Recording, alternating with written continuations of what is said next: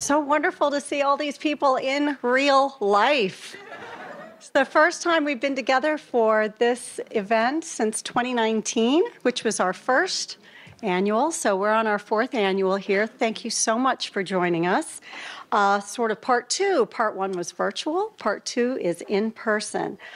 Um, I want to dive right into this afternoon programming because we are in for such a treat with the conversation we are about to have. But I just wanted to note something that Melissa said this morning for those of you who were listening, and I was struck by it. You know, when she said she's the English teacher and she had to look up the word umbrella. And the second definition was a protecting force or influence, which is exactly what an umbrella is. And it, that's exactly what umbrella is. So, for those of you on the Umbrella Advisory Board who are in this room, I'd really like you to stand because these are the women who are the protecting force or influence. So, if you'd stand, those of you who are in the room.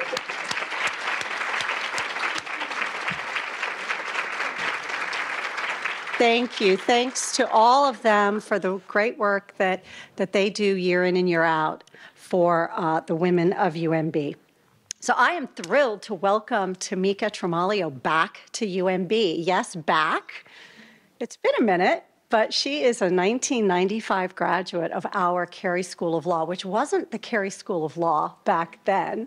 It's just the plain old University of Maryland School of Law.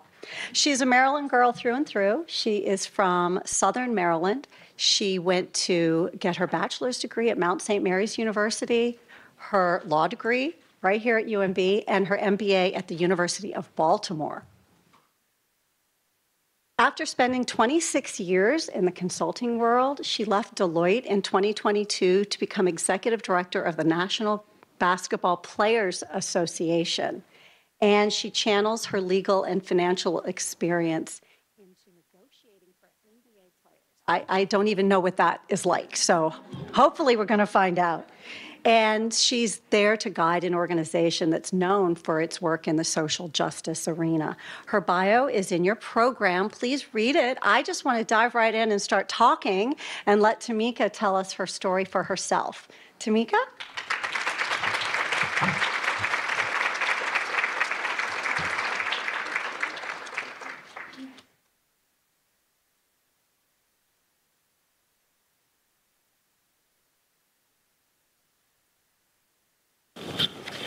Wow, there's a lot of people in here. Great. Well, thanks for being here. Can you tell us the title of a book, song, or movie most represents your life, your path, your career? Well, I can't use Girl of Ames, right, because that's your book. Um, but I, I know that Toni Morrison said if, you know, there isn't a book that describes your story, that maybe you need to write one. So I, I think to myself, perhaps at some point in time, I will write one. But I have had the pleasure, of course, of reading such amazing books. I'm a big self help book reader, and one of them in particular is The Empress Has No Clothes. You all might have heard of that, but it's The Imposter Syndrome, and it was written by a woman called named Joyce Roche, who has become a mentor of mine. And, you know, it while I, I wouldn't say it is my story now, but it is certainly one of those steps, I think, throughout my career. And so that would certainly be one of them. And then this morning I heard on the radio who runs the world. And I was like, that might be the song. they both work for me. Thank you. Um, I'm going to skip around a little bit because you just did mention imposter syndrome. Um, can you tell us a little bit about, you know, we don't know much about you yet other than what we read in the um, bio, but I would like to know how imposter syndrome has impacted your rise to where you are right now? So I, I, would say, first of all, I don't think I knew that there was a such thing, right? I didn't know how to articulate what that was. And typically, imposter syndrome is when you feel less than or less valued or that there's somehow people are going to figure you out. And uh, to some extent, what you find is that people who suffer from the imposter syndrome are overworking, overtired, overcompensating, doing more than most people because you keep feeling like there's going to be this moment when they realize like you don't belong or you shouldn't be there. And in fact, the truth is, I thought it was something that primarily women and even maybe women of color experience, but the reality is everyone experiences it at some point in their lives. For us, we experience it more because it happens when you find yourself the only one in the room where there isn't a whole lot of people that look like you or saying the same things that you say. But men feel that way too. And I remember in Joyce's book, she talks about the CEO of AT&T, Eric Whitacre, and how he had felt like an imposter when he became CEO. And in particular, he had been asked to go to Aspen and to go skiing with a CEO from another Fortune 100 company and their family. And he was like, God, I've never skied. He really didn't ski because it was a, it's really expensive to ski. And he didn't grow up with the means to be able to ski. And he grew up where there wasn't, you know, huge mountains, so you'd have to travel, you know, all the things that come with that. And so he had his family getting lessons. He had all new equipment. He bought the best clothes. They were pulling their tags off, like when they got to the little lodge. And he said, because he wanted them to fit in. And so when that happens, though, it brings about not the best behavior either in some instances, right? I mean, it causes anxiety. There are all kinds of things um, that happen when you suffer from the imposter syndrome, but it also makes you an overachiever. So there's some positive aspects of that too. But you do have to recognize it because at some point you can't do all of these other things. You can't keep overcompensating, particularly when you're finding that others aren't doing that as well, right? And so I think it, it had been a journey for me, particularly when I found myself as the first or the only in situations. So, at what point in your life did you know what you wanted to be when you grew up? Do you know what you want to be when you grow No, up? actually, I think it was five, um, was when I started telling my dad that I wanted to negotiate allowance and all of those things. He was like, oh my gosh, he's totally going to be a lawyer. And he said, your, your brother is so kind. He's going to be a minister. Go figure. My, my husband, my husband, my brother was just um, inducted two weeks ago as a minister, so I'm incredibly proud of him. And here I am. But the truth is, I think I also loved numbers and I loved problem solving. And so, you know, coming here to University of Maryland School of Law, one of the great things about it is that it has always been innovative in terms of, you know, where you find your passion, where you can be your authentic self. And so while we had a JD MBA program, it was really important for them to make sure that I was getting to do, you know, all of the students to do the things that they were really passionate about. And you couldn't do a class here at University of Maryland at 10 and a business class at 11:30, right? It just wouldn't work out. And I remember just going to ask the dean, "Do you think I could possibly do it with University of Baltimore?" It was very new because people who went to law school went to law school to avoid the numbers and avoid blood.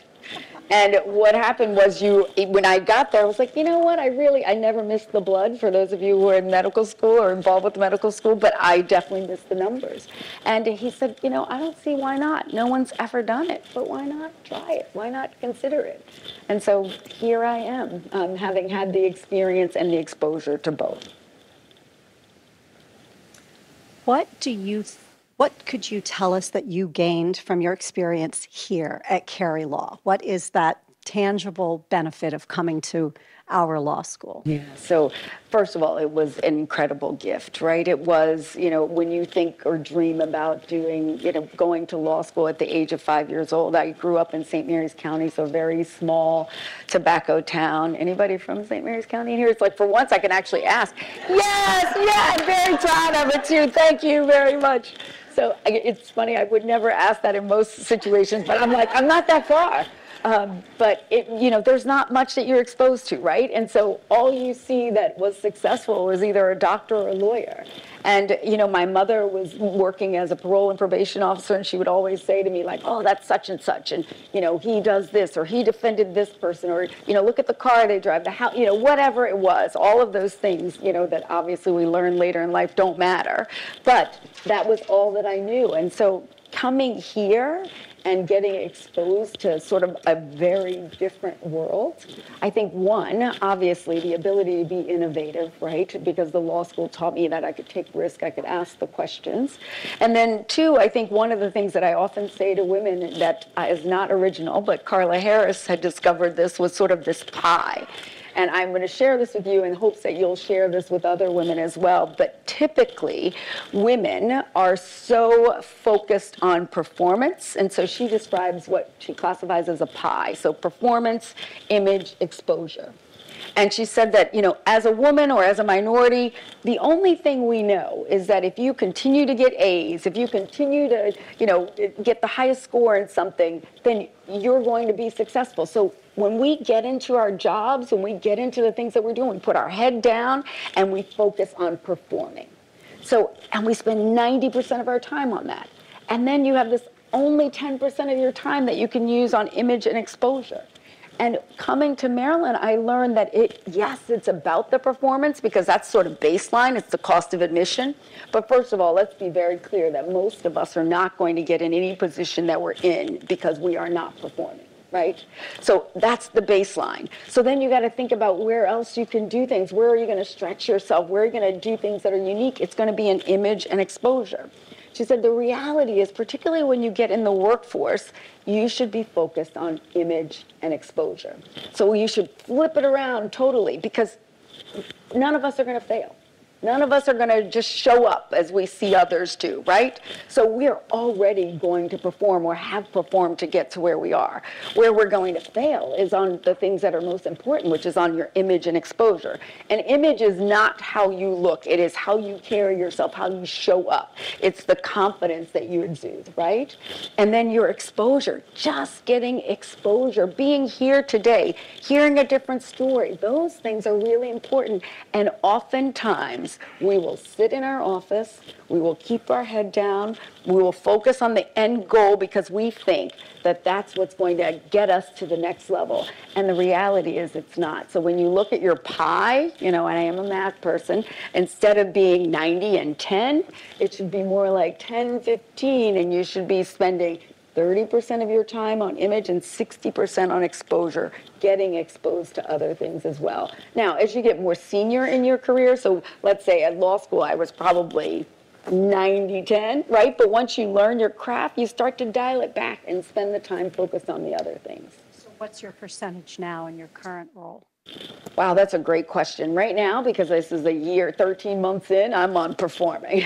and I'm in the middle of CBA negotiations, right? And so it is about performing. They aren't paying me for image and exposure, right? um, they've got all that down. So I really am focused on how am I going to perform? How am I going to come out at the end of the day? That's what is important to our players. That's what I have to make sure that I do well. And in spite of that, I, I was sharing with Shara earlier that it was so important for me to be here. Inky, who's my chief of staff, will tell you we like canceled most of the things this month because we have a pretty big deadline and we're talking about billions of dollars. But I felt like this was so important. One, it's International Women's Day, so thank you for having me on a day like today. But two, because being amongst women is like chicken soup for my soul, right? It is like that's where I get my energy. That's where I feel like I can just do a little bit more. And when it's late at night or when, you know, you're getting yelled at from inside and outside, that you're like, okay, but I have my, you know, my group that I can sort of like rely on. So it was really important to me to make sure I was doing that. Thank you. This might be a good time. What is a CBA negotiation? What yes. every day? Yes. Who knows? Every day is different. Um, but CBA is a collective bargaining agreement, and you know, luck would have it that it would be time for a new one. in the sixth year, and so here I am coming into a CBA negotiation. This is really where we are determining everything from how our players are paid, how you know often they are tested, whether there's load management. I mean, every issue that you could possibly think about is in the CBA. I mean, hundreds of pages, things that you wouldn't even consider, like whether you register your car, whether, I mean, it is outrageous. And so we are spending, we've spent the last year really in the weeds focused on all of those details. Now, at the end of the day, there are things that are, you know, big ticket items that we have to spend more time on, but really it is doing that on a day-to-day basis. I also am here to protect our players, which, you know, may happen occasionally. I'm here to support them, and I'm here, here to amplify them, to tell people how wonderful they are. This has been the greatest and most rewarding gift is to serve in this role with 450 of the most talented men in the world who are also incredibly compassionate and empathetic. They give back so much. And people don't know about them. I often say to them, what's your and? Because the reality is if you know, you know, a Chris Paul or Seth Curry or LeBron James or CJ McCollum, you know them as the basketball player. But CJ McCollum owns a vineyard. He has a big business. His wife is a dentist. He had his first son. That's their and. And when I think about our children and even my boys who play 2K, for example, I think about I want them to know all of the things that these men are doing to contribute to society because it's very unlikely, just given the percentage of people who make it to the NBA, that the majority of children who actually see them will get there. So I want them to know all of the other ways that they can contribute to society, and they are doing that. It's just a matter of whether or not that's being shown. So I I'm spending time focused on that as well. Is there any advantage to being a woman in a man's world, like hmm. being a negotiator? Well, because you're recording. NBA players. so, um, you know what? I, I would say not. I, I would say there's no advantage or disadvantage, quite frankly. I am certain that we think about or approach things differently. Um, but I think the reality is, you know, we are all, all of the individuals, and our union is a little over 100 professionals that, you know, are serving them on a daily basis. And I don't think, you know, being a male or female brings, you know, anything special per se. What I do think matters is that there is diversity right? I think that we are all better off because we have women and we have men and that we have, you know, people of different backgrounds, et cetera. That's really what makes us who we are. It also is what helps us to be able to support our players in a way that's appropriate, particularly since the fans are all diverse, right? And so we have to be able to appreciate that everyone's going to look at things or come at things differently. So I think that's probably the advantage. So the Umbrella Group's theme for this academic year and this symposium is innovative leadership. How do you define an innovative leader? And how does innovation relate to your own journey? So, you know, I, I think by definition, I think it means sort of thinking outside of the box. And so one of the things that I did when I first came to the NBPA was I had this theme of reimagine the possible. So everything you see when you would come to my office, the basketballs, everything, say reimagine the possible. And the reason that I did that is because I wanted people to get out of their thinking of how things have been, but rather focus on what could be. So if you can imagine a union that has been around for 70 plus years in some form or another, right?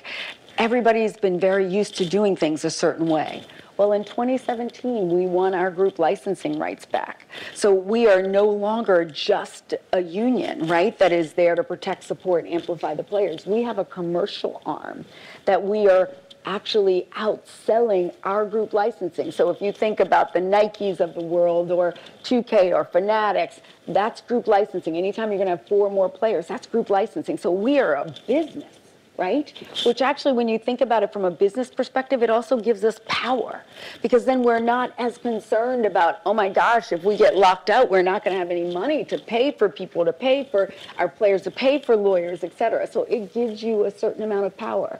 But it also means that you got to think about how you go to business, how you do things differently. So if you have an organization that's only focused on serving, in a union capacity isn't thinking on serving in a business capacity, generating more revenue, you've got to think about things differently. So I have said, I want you to reimagine the possible. Before you say no to anything, I want you to imagine what it would be like to do that. We could always end up at no, but I want to know that you've taken certain steps to consider things before you've decided that this is not a possibility. So that's how I have put it into action. Um, and really, if you ask anyone in our office, they will tell you that I put my money where my mouth is. I, I'm willing to try most things. Um, but I also want to know that people are actually considering what they could do outside of the box. Imagining the impossible, the possible, the impossible or the, The possi- possible. Possible. That might be our next year. Oh, good. Write that down, someone.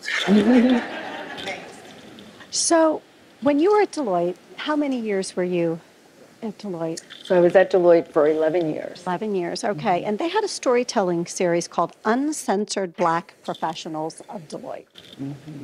You wrote a piece in there that I really enjoyed reading. Um, would you read part of what you wrote? And then um, I have a question.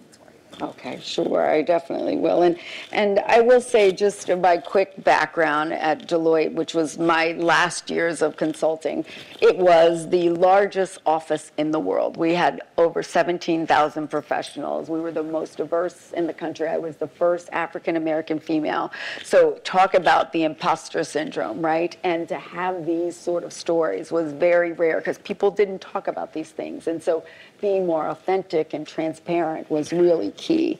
So it starts, huh, imagine that by, I must be transparent. It can be incredibly lonely to be a black woman in leadership in corporate America. There aren't nearly enough of us, and I don't think many people can appreciate the pressure and weight that many of us feel on a daily basis, not only as a black leader in our organization, but as black women in America. This is my story. I have and will continue to, tra- to travel my journey while creating space for others. To be honest, I was apprehensive to share my story for this series, but if I've been blessed enough to be given a seat at the table, I need to make sure that I am using my voice. Otherwise, as Michelle Obama has said, I need to give up my seat. And I've worked too hard for it to not use it to serve others. What do you do as part of your leadership journey to help others who maybe have been marginalized or underrepresented have that seat at the table and not give it up? Yeah, So, you know, it is tough. First of all, it's about recognizing that you deserve to be there, right? So you have to show up. And you have to show up in all of your glory, whatever that is, bringing all of your strengths to the table. It also means that you have to think about the shoulders that you stand on that have gotten you there to make sure that you're bringing other people up. There is an expectation, from my perspective, that you are bringing other people along with you. I contribute my success at Deloitte not by the you know dollars that were raised or you know et cetera, but rather how many partners I made, how many people I was able to advance in their career. That's what it means to serve others and not serve yourself quite frankly. And it's hard, right? Because there aren't a whole lot of people that look like you. And I know you all have probably talked about in the past about sponsorship and mentoring. And we're always looking for people that look just like us to mentor or sponsor us. And the reality is there aren't that many. So I felt, particularly at Deloitte, like everyone I wanted to bring along, but instead I made it other people's jobs to make sure that they were bringing others along as well. And they didn't need to look like them. And so that to me was critically important. In basketball world, they call it assist. I, that is exactly what I was making sure was happening each and every day. That's what brings me joy. Tell us about an obstacle to success that you faced and how you overcame it. There have been many, um, as you all can imagine. I, I think um, obviously the imposter syndrome is one of them. I, I started my career actually right here in Baltimore at KPMG, um, and I started in our tax practice. And it was really challenging because when you came out of law school, you know, 25 years ago, almost 30 now, um, with a JD MBA, people had no idea what to do with you. So it was either investment banking or tax. Those were your options. And I didn't want to live in New York, right? That's very funny because that's where I live now. Um, and I was like, I, you know, that's not happening for me. So I'm going to go to the big five, which we considered almost like doing a clerkship, right? You know, and you spend your time, your head's down, it's the right training ground. And so that's what I thought I wanted to do. Nine months in, I was supposed to be doing Section 482 work, so which is like taking money offshore to invest it so that you aren't paying taxes in the US, which is sort of forensic in nature. And we had a forensic practice. Well, who knew there was actually forensic practice that existed, right? This was a fairly new area. And I remember talking to one of the partners, and he said, Oh, this would be great. Come over and work with our team. You can help us with some of the experts, et cetera. It's a three month rotation. And I went to our tax partner in charge and I said, I would love to do a rotation in that group. And he said, Well, you can go try it, but I can't guarantee your job will be here when you get back. And I thought, wow. Now, the reality is, I at that time, I certainly wasn't in a position where I was like, okay, I don't need a job in three months. I have like debt everywhere. I just got out of graduate school. I, I don't need, but I, my mother, I remember her saying to me, the fruit is always on the limb and you have to sort of stretch yourself and you just got to get in there you've been given this seat at the table and you've got to deliver and so the three month rotation turned into nine years. So i think that's what you have to face is like what do you have to do to rise to that? And then you've got to figure out what it has come to teach you and sometimes with the lessons and the experiences that we have, I'm often so surprised that people haven't thought about what the lesson was. It's been a problem, and you know it's a problem, and you focus so much on the problem, but we all come out of those problems. But what happens is we end up back in the same situation because we haven't been taught the lesson.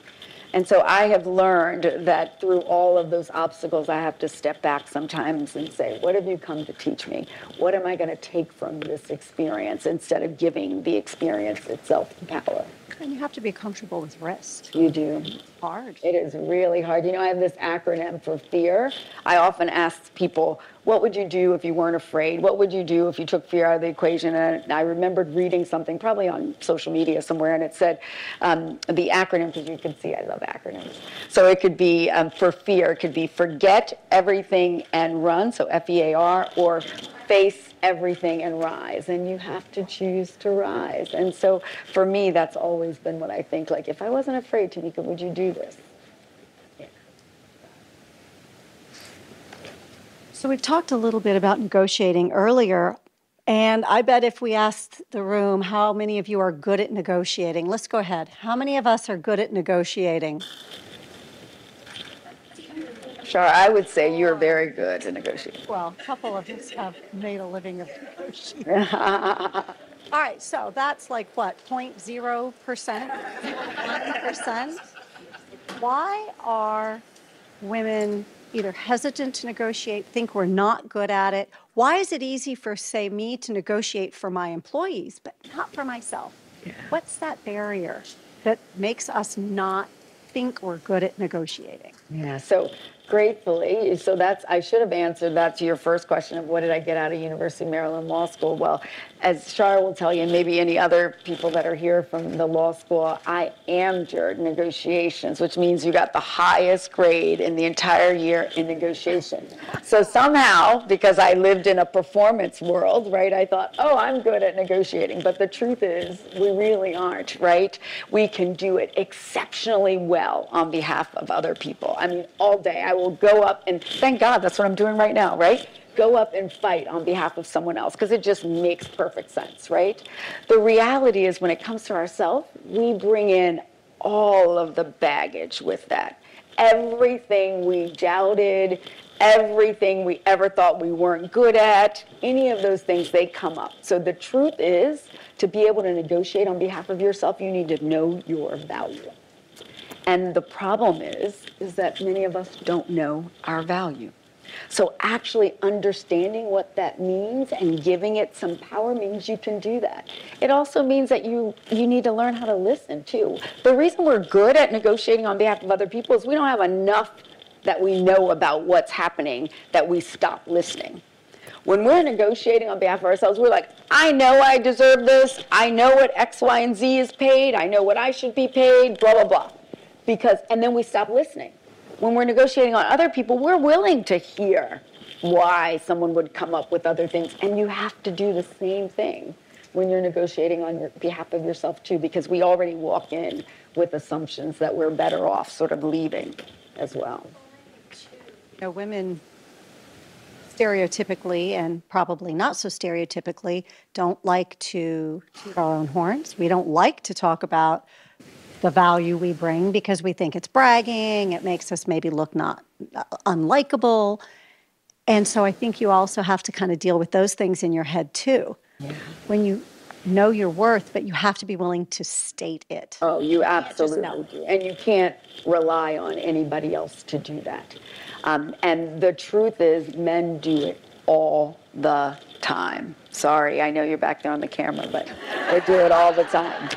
So we have to Like you, make sure it's it is not bragging, right? I mean, how many of you have been in a meeting and somebody takes credit for your work? Now that's a lie, and they are fine doing that, right? So you just got to remember to let people know, and it, it- there's a, a polite way to do it. And I would bet you those individuals who talk about what they do also talk about what other people do too. So you have to make sure that it's not outweighing the other one, right? There's an appropriate way to do that, but please don't think other people are going to do it for you because they are not. So true. Knowing what you know now, what piece of advice would you give to your younger self? Yeah, so that's one of my favorite questions, actually. And it's interesting because we talked a little bit about the imposter syndrome, and I shared with you Joyce Roche, who's a mentor of mine, and she decided to write this book, The Empress Has No Clothes The Imposter Syndrome, because she suffered from it. And she was asked to actually write a letter to her younger self that um, she thought was going to be sort of a small letter, and, and Oprah ended up publishing it out of the thousands that she had received. So she said, Oprah said to her, You should write a book. So she decided to write a book. Well, we were chatting, and I was doing a panel very similar to this of all women at Deloitte, and it was actually right when I was up for managing partner. Um, and as I said, there were no other women. This is our largest firm in the world. There is no way I'm getting this job. I was convinced that they were just checking a box to say we looked at a diverse candidate pool, et cetera, which was all fictitious. But again, we make up all kinds of things in our head, right? Because we're not listening. Um, and she said to me, why don't you have the panel write a letter to their younger selves? And I sent out I, all of our partners at Deloitte, very type A, and I sent out a message, just, just write down a few things that you'd tell your younger self. So the first one, the younger partner, which is the one that I had sort of helped to come up, she sends off her letter to me very quickly, and she's like, "Look at what I did, and this is such a good exercise." And there's three other women on the email chain, and then they think, "Oh, I better, I got to write a letter. I got to write a letter." So then here we go. Fast forward, it's the night before our panel. I'm picking up Joyce. I get home at midnight, and I have not written a letter. And I thought, are we going to just talk about the points or is there going to be something? And I, I literally sat down and I sort of scratched down these things that I would say with full knowledge that there is no way that anyone is going to ask me to read it. Like I'm going to bring out some points. And at that breakfast that morning, Joyce turns to me and she says, Well, Tanisha, why don't you? And I was like, Oh my God. I felt like if there was a hole and I could climb in, that's what I was going to do. And I also thought, Well, you can check off the box of becoming managing partner because as soon as they find out, like your story or what you would tell your younger self, you're out of there. So I'm going to share that letter with you because for me, it was a game changer because it sort of gave me the permission then to be myself. I also realized that it made me more authentic to other people. And that's what we needed in a leader. Like, little do we know, COVID would be coming a few years later. And the leaders who were most successful were those that were authentic. It wasn't the first time you saw the inside of their homes or learned that they had children, right? Um, and that really mattered. So I will share this letter with you. I'll also tell you of, of some other funny stories from this letter as well. But it starts with Dear Tamika, you are not a mistake, and you don't have to continue to prove that you weren't a mistake. God doesn't make mistakes. In fact, isn't that what my great grandmother meant when she said to my mother at the age of 18, One day you will be so happy that you had that baby? So, when is that one day? You continuously ask yourself as you continue to let that control you, push you, and even define you. Be brave as you can hear the whisper. One day this will all seem worth it. Someday I will make you proud. will strive to be amazing as you patiently wait for that day to come. I assure you, Tamika, it will come. Whether it's the day you pass the bar exam, yes, it may not be until you're 25 years old, or perhaps it's at the age of nine when you and your mother lay on the side of the road after being hit by a drunk driver, bleeding as her face is scarred from protecting you rather than herself, and the other driver was pronounced dead on the scene. Perhaps in those uncertain moments, she realized that I wasn't a mistake. Regardless, you can be certain that that day will come and it won't be for the reasons that you thought.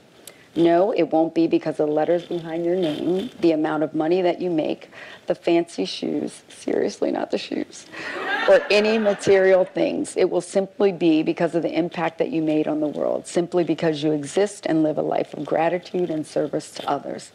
This is where you will find fulfillment, your purpose.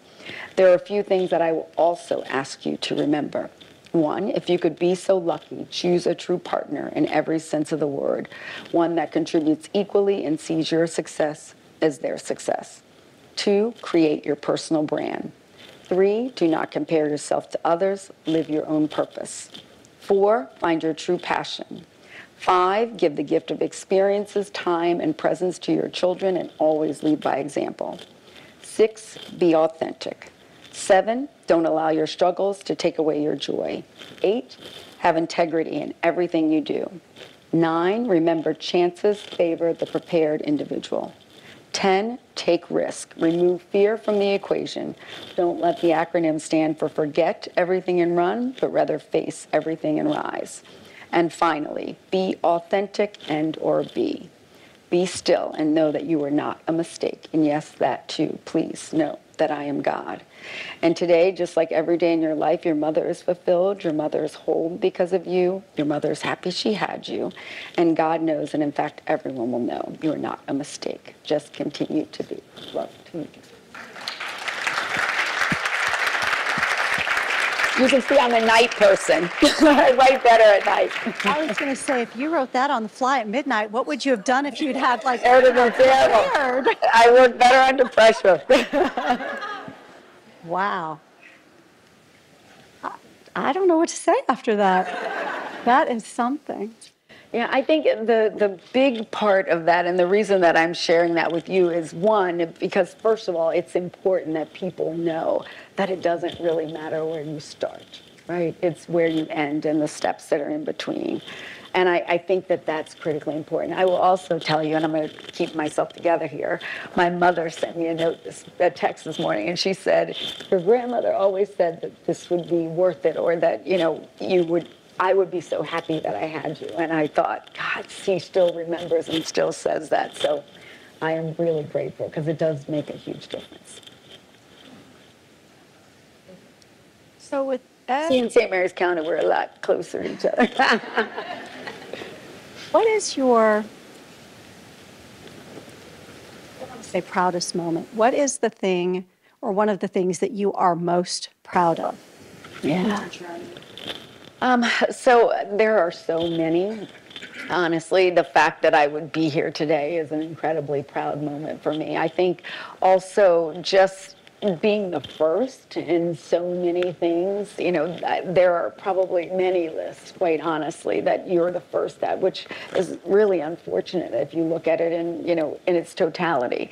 But I think probably one of them too is being the second. So I'm the second woman to lead a large labor union. And the reality is that's what we should be striving for is not to be the first and perhaps the only, but rather to look at who we're bringing up behind us. You know, Michele Roberts did an amazing job, and therefore they had the trust to bring another woman on.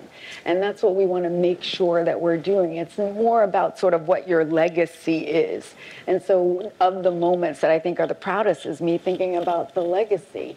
You know, having my children, having a husband of 32 years, those are my proudest moments because it's hard, all of it.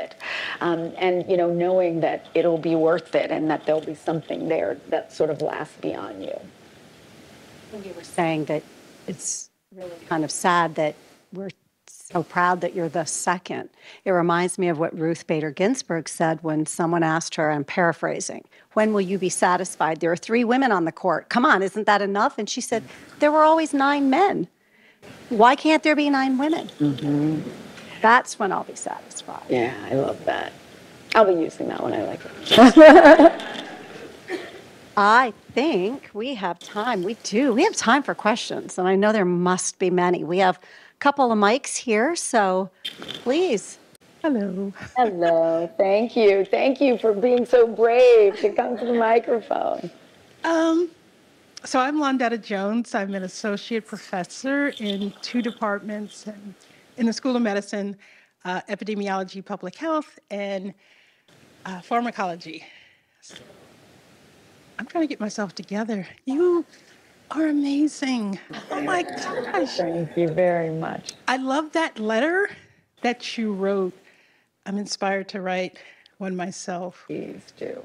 But I was I, I was curious.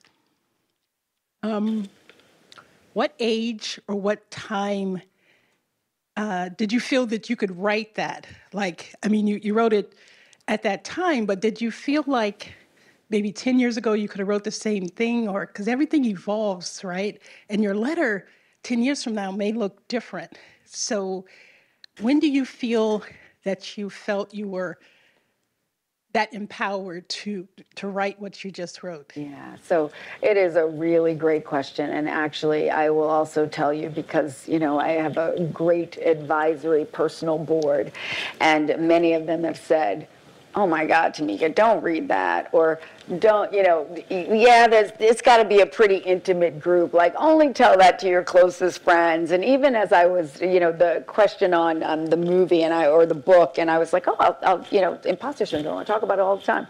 Um, and they're like, no, no, no, because you're past that. Like you want to you want to show that you're past that. And I thought, no, I want to show one a little vulnerability is what builds trust amongst people, right? And yes, it was a journey for certain because, you know, my the beginning of my career, the only thing that I saw was successful were white males. So, and they were wearing white shirts with neckties and monogram sleeves and I was wearing white shirts and neckties with monogram sleeves because that was all that I knew. And I remember the first time someone came into the office and they had a dress on, like with flowers on. I was like, oh my God, there's flowers. Like, is she going to church? Like, I couldn't even like fathom it, right? Because that wasn't what I saw. But at a certain point, you do just get, and I don't know that, you know, again, I told you I knew I wasn't going to get this job as managing partner because now I've said this. But I think allowing yourself to be vulnerable, you know, developing the level of trust, I think is what we all have to do because the truth is you don't know the impact that that has on someone else. Now, I will say everybody's not ready for that story, right? Um, I am selective. I didn't do it in my interview with the players, right? But at the same time, I thought, you know what? It's important that they know who they have that's fighting for them, right? At Deloitte, we used to have this saying, like, you know, bring your authentic self to work. And, you know, I'd have lots of people saying to me, right, what does that mean? Bring my authentic self to work. Like, am I going to wear, you know, braid my hair? Am I going to wear curly? Am I not going to do this? Am I going to, you know, wear sneakers? Whatever that means to them to be their authentic selves. And the truth is, what it really means is people want to know who they're going into battle with. And if you are so confined and keep everything so personally, nobody ever gets to know you.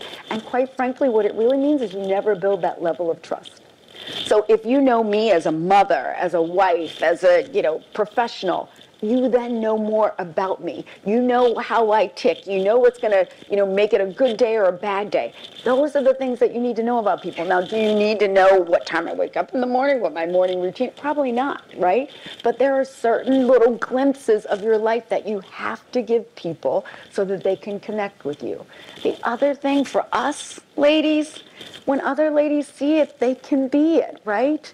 And if they never know where you came from, they think, oh, yeah, that's because Tamika grew up with both of her parents. They were millionaires. They had drove fancy cars. Of course she's going to turn out this way. No, I want them to know my mother was pregnant with me at 18 years old. She wasn't married. And it can happen to you. And you will be just fine because it doesn't matter where you start. But it does take some time. And for those people who judge you, shame on them. Right?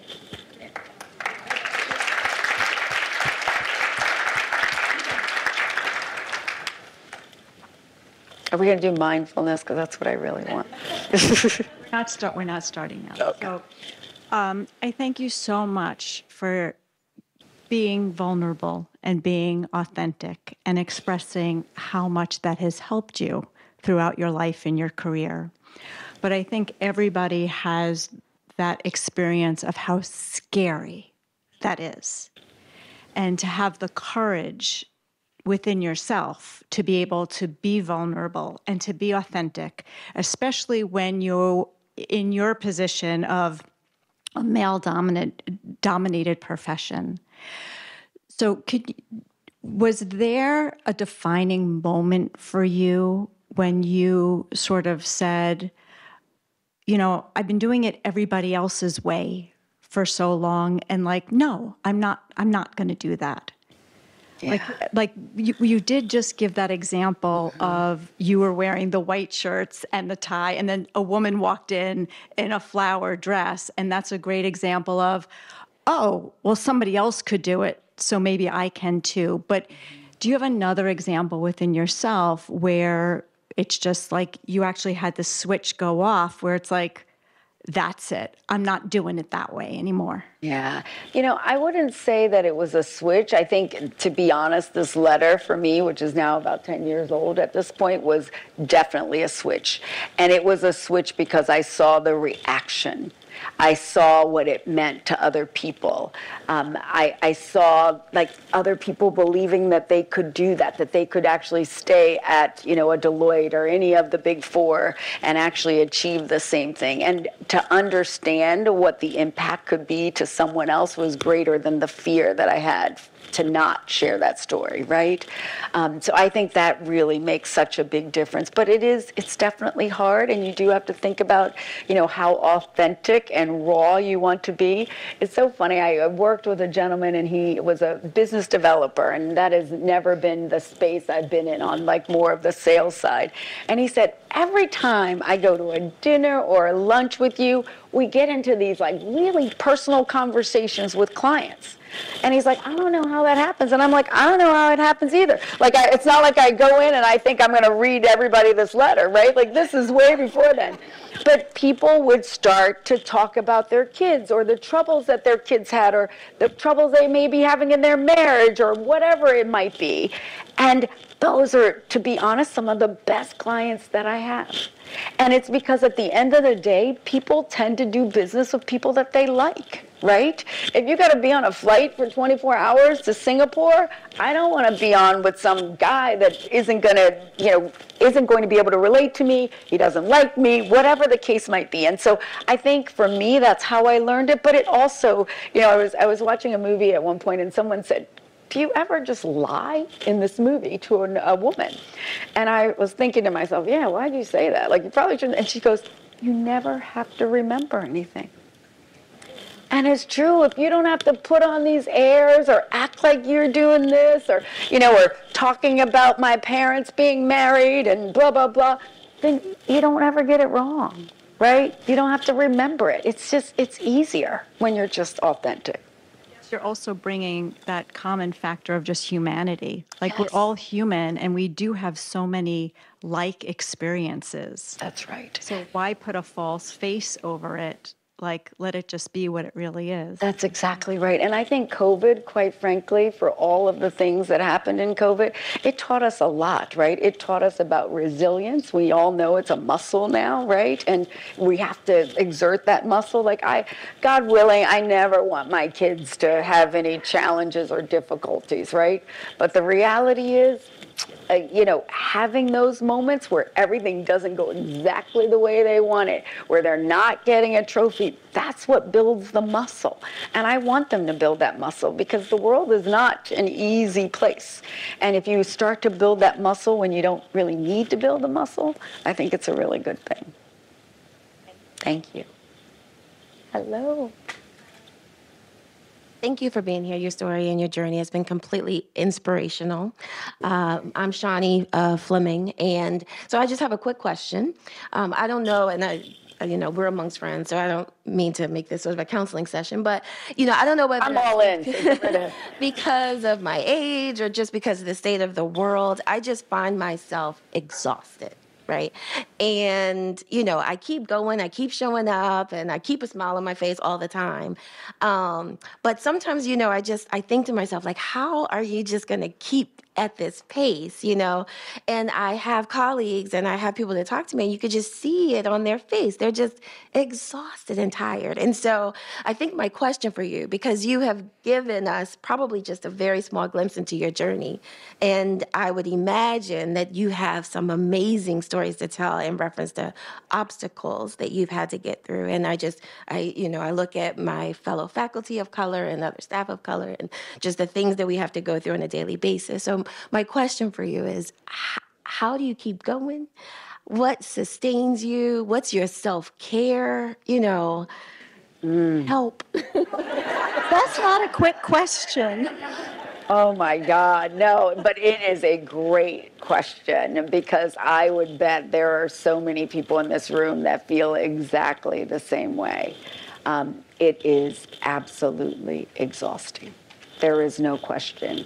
Um, most days. I think what sustains me is that it's greater than me right? And, you know, during the days of being at home and COVID, and, you know, you had George Floyd and, you know, all of the things that were just incredibly challenging. And I thought, God, like, are we going to have one more conversation about like you know what this means? Or you know in my mind the knee on the neck as a metaphor for lots of experiences that many of us have had right? Not to even minimize it by any comparison but certainly we have had horrible experiences as well that we've had to keep going, had the ability to keep going that certainly he didn't have. But I also think about, we think about what it's going to do or what it means to other people that we do keep going. So I could, you know, sort of grovel and think, God, I got to go up to New York. I got to work tonight, right? But I know at the end of the day, it's going to make a difference for my players. I know it's going to make a difference for their children and their children. And so when I think about what the impact will be, that keeps me going. The self care, personally, I'm not doing real well on it right now. so I, I will start by being honest. You got me? Okay, good. Um, but I, I, I think it is so critically important. I will tell you, when I came here, I hadn't been home in a couple of weeks in, in Maryland. And um, going home yesterday, it was awesome. It was like a reset for me. You know, my I, I could at one point I was on a conference call and I could hear a dog barking, and I was I said to, or a Zoom, and I said to my colleague, I don't even have a dog. And he said, but it's in your house. I'm like, yeah, I, think I hear a dog in the house. but I was so happy to be home that like nothing could bother me. And I also remember those times that your kids would run by and you're on a Zoom and you're like, ah, like, like people don't know you're home and that there's a family going on. And my son goes by and I'm like, hey, and he's like, is the dog in here? I'm like, what dog? Like, thinking, you know, it was my complete reset. And I knew I needed it. I had like hit a wall. I was, you know, we were in Boston on Friday, San Francisco this weekend, back in New York on Monday, back in Maryland on Tuesday. I had hit a wall. And I know I needed to reset. I knew that being here today would fill my cup.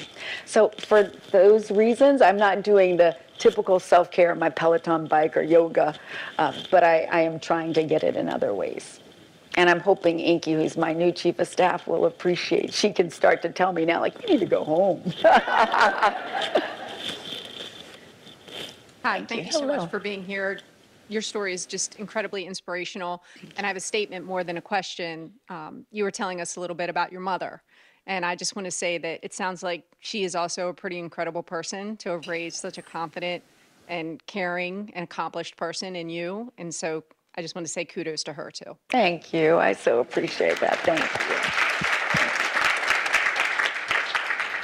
My question is about your personal board of directors. You mentioned that you have a personal board of directors, and that's something that through uh, umbrella presenters, they have suggested that people do. And so I'm wondering how you use it and how you would suggest someone who's maybe entry level at your organization use a personal board of directors. Yeah, so I will say I would take it a step further. I think you should have three types of networks. I think you should have strategic board, an operational board, and a personal board, right? Strategic is really about sort of where you want to navigate. That's helping you with your strategy, where you're going to go, right? I think operational is who's going to help you to get it done.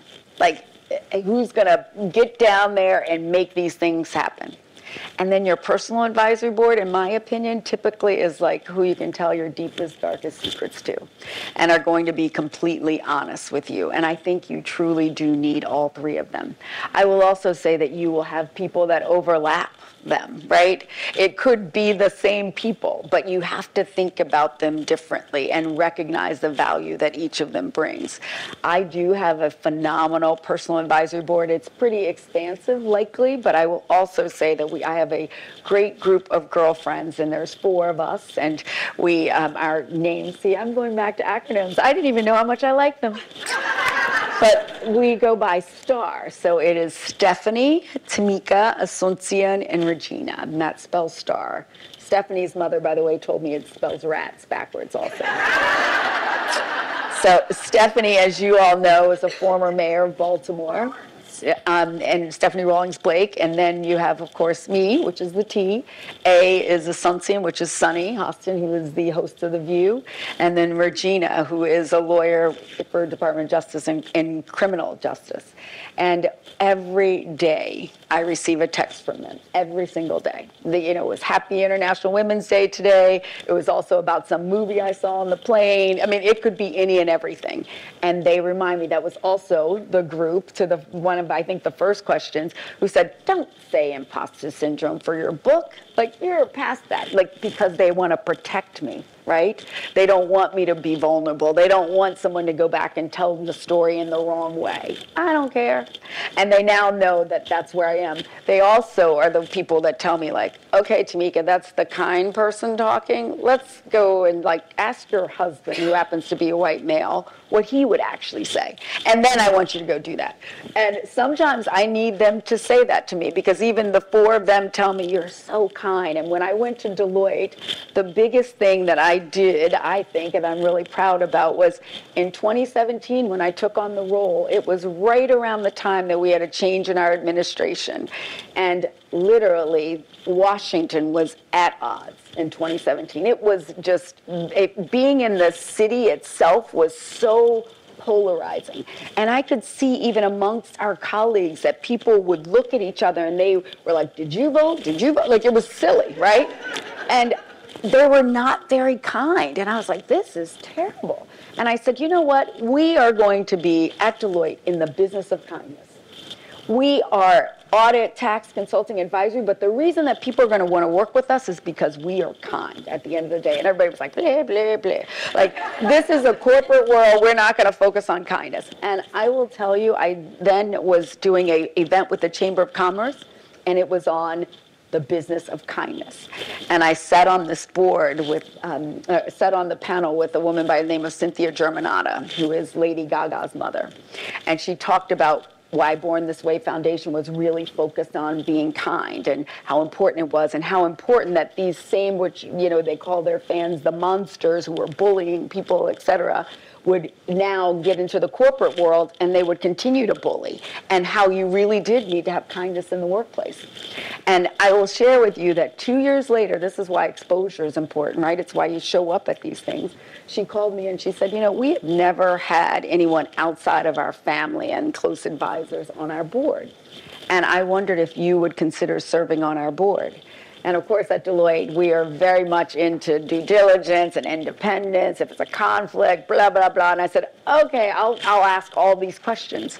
And they actually said to me we're located in San Francisco. I assume New York, because actually that's where Cynthia lives. And she said, well, we are in San Francisco because we want to be where we can make the greatest impact. And I said, Well, can you tell me more about why that is? And she said, Well, did you know that on the Golden Gate Bridge there have been the most suicides ever attempted, which are over 2,000 on the Golden Gate Bridge, and we want to be where we could make a difference. And she said, There was a gentleman who came to me one day, his name was Kevin. And Kevin had actually contemplated committing suicide. And what you don't know, oftentimes people think about committing suicide, but it's not the first or the second. It's like the third or the fourth time. And for Kevin, this was going to be his fourth time. And it was going to actually take him three buses to get to the Golden Gate Bridge from his home. And he got on the first bus and he said, if someone looks at me and asks me how I'm doing, I'm going to turn around and go back. And no one did. And then he got on the second bus and he said, you know, if someone even smiles at me, I'm going to turn around and go back. And no one did. And then he got on the third bus and he said, you know what, I could give up on humankind, but if they just acknowledge my presence, I'm going to turn around and go back. And no one did. And his face is all blotchy red from crying, and he gets to the top of the bridge, and a woman gives him his cell, her cell phone, doesn't even look at him, and says, Could you take a picture of me? And he grabs her phone and he jumps from the bridge. True story. And he doesn't die. And he said, It is just basic human kindness, simply acknowledging that someone exists. And that resonated with me because I thought, God, if there is someone on the street that I walk by that I haven't spoken to, that could be the very difference for them. We at Deloitte, we'd get on an elevator, we own the building, and you would get on your phone so you could avoid making eye contact with people so that you don't have to speak. I mean, that's not kind. And right now, what we need the most in the world is just a little kindness. So, basic human kindness. That note, Yeah. that I just want to say thank you on behalf of everyone in this room.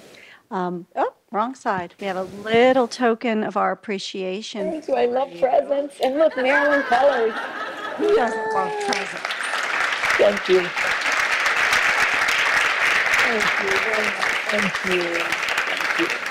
All right, well, unfortunately, Tamika has some basketball players she's going to go get a lot of money for. I'm going to try. She's going to be leaving us now. Thank you all. Thank you so much for having me.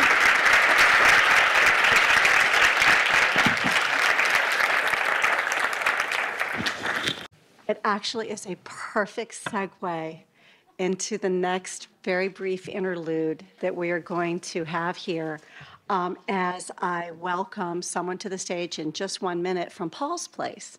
And so many of you exhibited basic human kindness today when you brought supplies for the people who find themselves in need and go to Paul's Place for a little bit of help. So Megan Culbertson is the Director of Development and Communication for Paul's Place, and she's just going to talk just a little bit about Paul's Place. Come on up.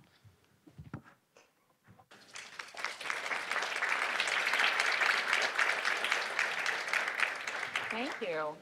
This is such a great place to be on International Women's Day, I have to say, um, because we serve everyone. Um, but I really do, as Tamika said, get my cup filled up when I'm in a room of women.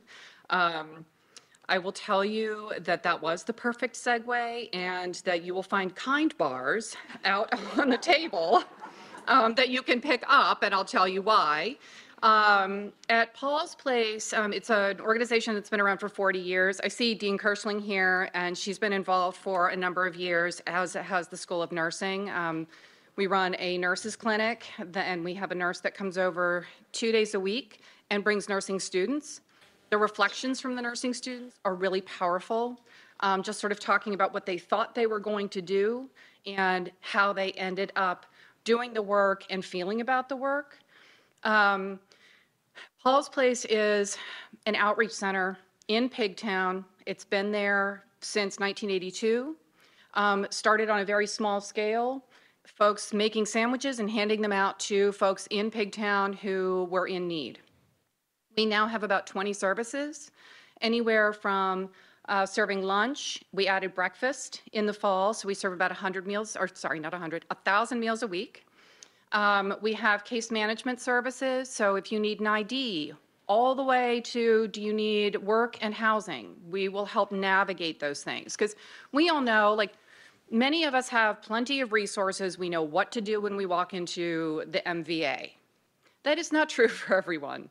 So that can be really daunting. And so we have folks who will help just navigate some of the social services and um, departments that are out there just to get what they need in order to find employment, to get an ID, that kind of thing. We also do laundry every day. We um, are an address for someone if they don't have one. Um, And we also have peer recovery. So we have a peer recovery advocate who is there and will work with folks who are dealing with addiction. And the, the nurse and our peer recovery advocate often go on outreach at least once or twice a week to any of the homeless encampments. They will seek people out that are sort of known to us. If we haven't seen them for a while, they want to go and check and make sure that they are in some sort of decent shape, or if they're not, to get them to somewhere where they can be. It's a really special place.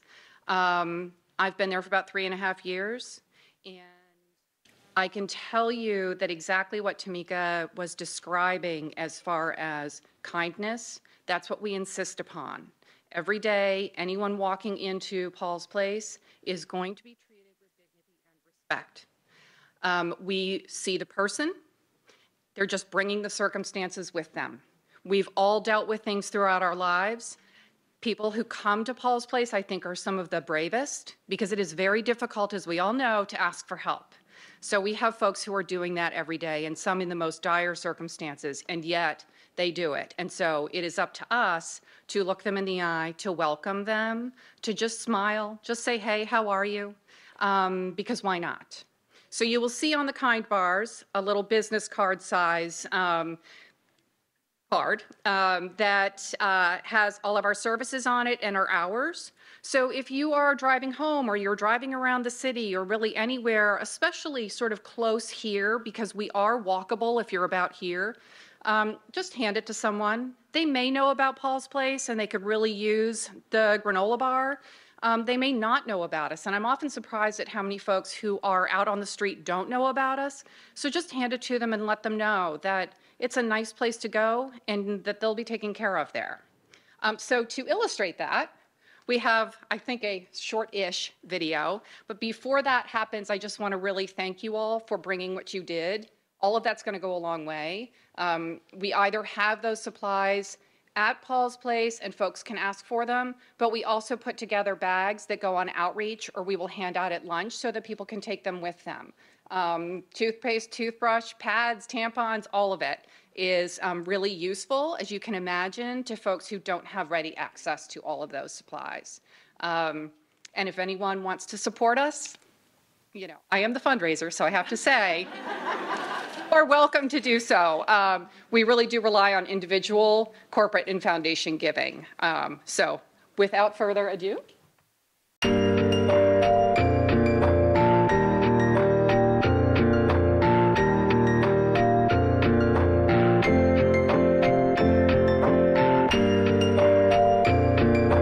Welcome to Southwest Baltimore a diverse community made up of seven neighborhoods. And at its heart sits a small community resource center run by a dedicated staff with a very special mission to serve the area's most marginalized and vulnerable residents in whatever way they can. Paul's Place started as a vision from a parishioner at St. John's Church in Glyndon. Helen Martine's vision was to have a program in Baltimore City that was holistic in approach, that really focused on respect and dignity and the power of hope. The Paul's Place mission is about meeting people's basic needs and supporting people to reach their goals. Um, it's about laying the foundation that's required if we're going to start building a more equitable society. The mission of Paul's Place is to serve those who are less fortunate or who are experiencing homelessness or on the verge of homelessness that can use the resources that we have to provide to them. Not only just walk-in case management, not only just clothes and food, um, we're also a shoulder to lean on, someone to talk to. Our clothing bank, which is really for families or individuals to be able to come and find clothing um, for just everyday life, and then also sometimes back to school clothing for further kids. Um, and then our hot lunch is five days a week for really what is our core signature program, um, which is making sure that if somebody has food insecurity, that we have a meal for them. We welcome everybody to come and eat. The type of meals I like to cook are wholesome and hearty meals that will get folks coming back, you know, and like really talking about, you know, the meals at Paul's Place. I just really enjoy what I do. Outside of the soup kitchen, which most people know what that is, we do a lot of different things from um, community outreach to substance abuse support and education, after school programming to allowing people to take a shower, get their mail, get benefits, get identifications done um, so they can get a job, and now starting a culinary arts program where we're going to train a whole bunch of people to work in the restaurant industry. Groundwork Kitchen is the newest program of Paul's Place. Um, throughout the years, Paul's Place has offered a variety of employment supports and case management services, and Groundwork Kitchen is really bringing those two worlds together into one sort of cohesive picture. Over the next few episodes, Better for Baltimore brings you the stories of Paul's Place, the services they provide to the communities of Southwest Baltimore, and the people who make it happen.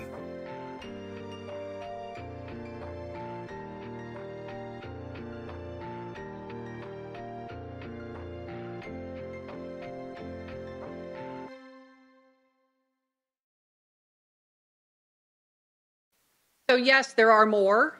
So you can go on our YouTube channel and watch the other ones. Um, those were created for us last year. We're about to do an update. But thank you so much for uh, giving me some time. Um, I'm so glad that you all do this. And um, yeah, I appreciate the work that you're doing and hopefully I'll see you all around.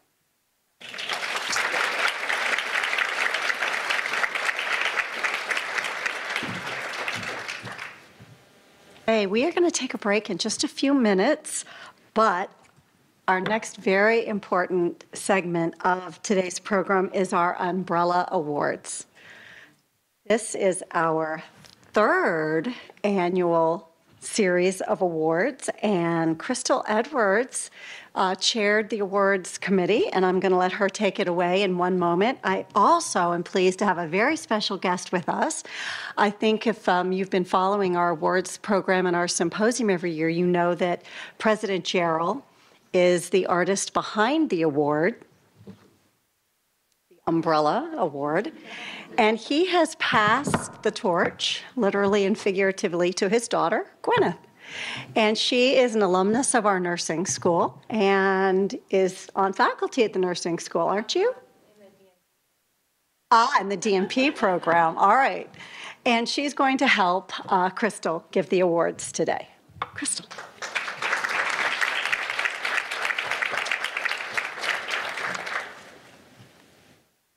I'm so pleased to be here with all of you this afternoon to be able to celebrate the accomplishments of everybody in this room. Also recognize three important recipients for this year's Umbrellas Awards. So I'd like to start by inviting our first Umbrella Award recipient for the year, Jennifer Chapman. Jennifer Chapman, please come on up, Jennifer.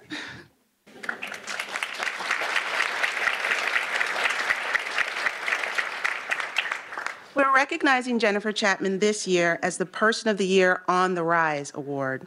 Jennifer has thrived and excelled in her role because she eagerly takes advantage of all opportunities that facilitate her professional growth and development, which in turn she pours back into supporting others, other members of our community. Her professional growth has blossomed since she started at the Law Library as a research fellow. Faculty praise her for her exceptional work that she provides to support their scholarship and teaching. Not only does she provide reference support to the law school community and members of the public, she also actively elevates the profile of UMB through her work as an active member of several library associations, authoring articles, and presenting papers, even through times of personal loss. Jennifer has remained steadfastly conscientious and committed to excellence in her work. And for that, we would like to acknowledge her as this year's Person of the Year on the Rise.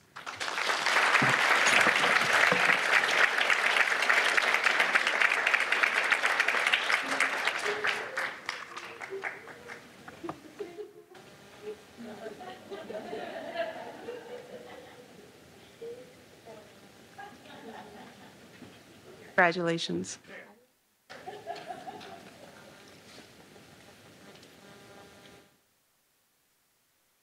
Thank you.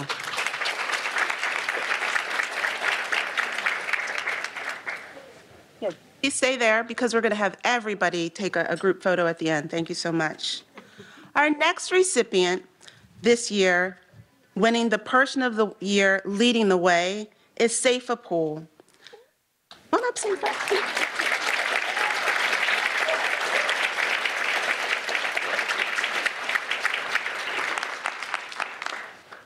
Poole consistently supports the advancement of women at UMB, and her work aligns with the principles of the mission of Umbrella, utilizing the teachings of Umbrella to advocate for herself and her women colleagues. Poole was instrumental in establishing the UMB Professional Administratives Committed to Excellence, or UMB PACE, a group that champions and supports UMB's administrative professionals. In connection with our leadership in UMB PACE, who also helped to create and implement a mentoring program to support new and current administrative professionals at the university. By taking advantage of professional development opportunities like the Workplace Mission Service Program and this year's UMB Emerging Leaders Cohort, she shows her dedication to helping and supporting others at UMB. Her efforts provide many UMB staff in, with resources, encouragement, and professional development opportunities that may otherwise not exist. Congratulations again to this year's Umbrella Award.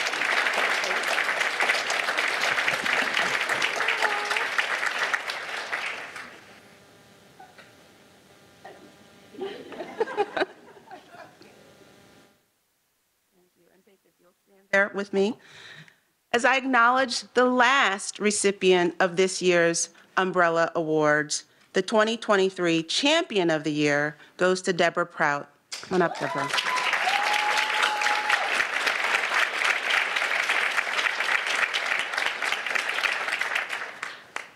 Deborah Prout champions women at all levels in her role as a special assistant to the dean in the School of Nursing. She is lauded for her unwavering devotion to her work, which has wide influence on many people at the School of Nursing. By supporting and showcasing the work of faculty, staff, and students, many of whom who are women, Prout upholds the spirit of the mission of Umbrella.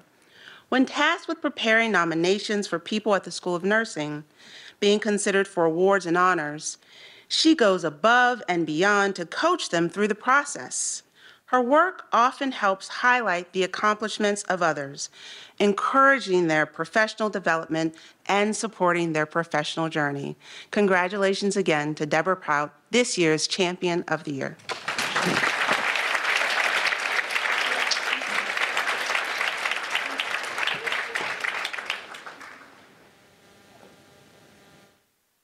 Please join me in congratulating all of this year's award recipients for the 2023 Umbrella Awards.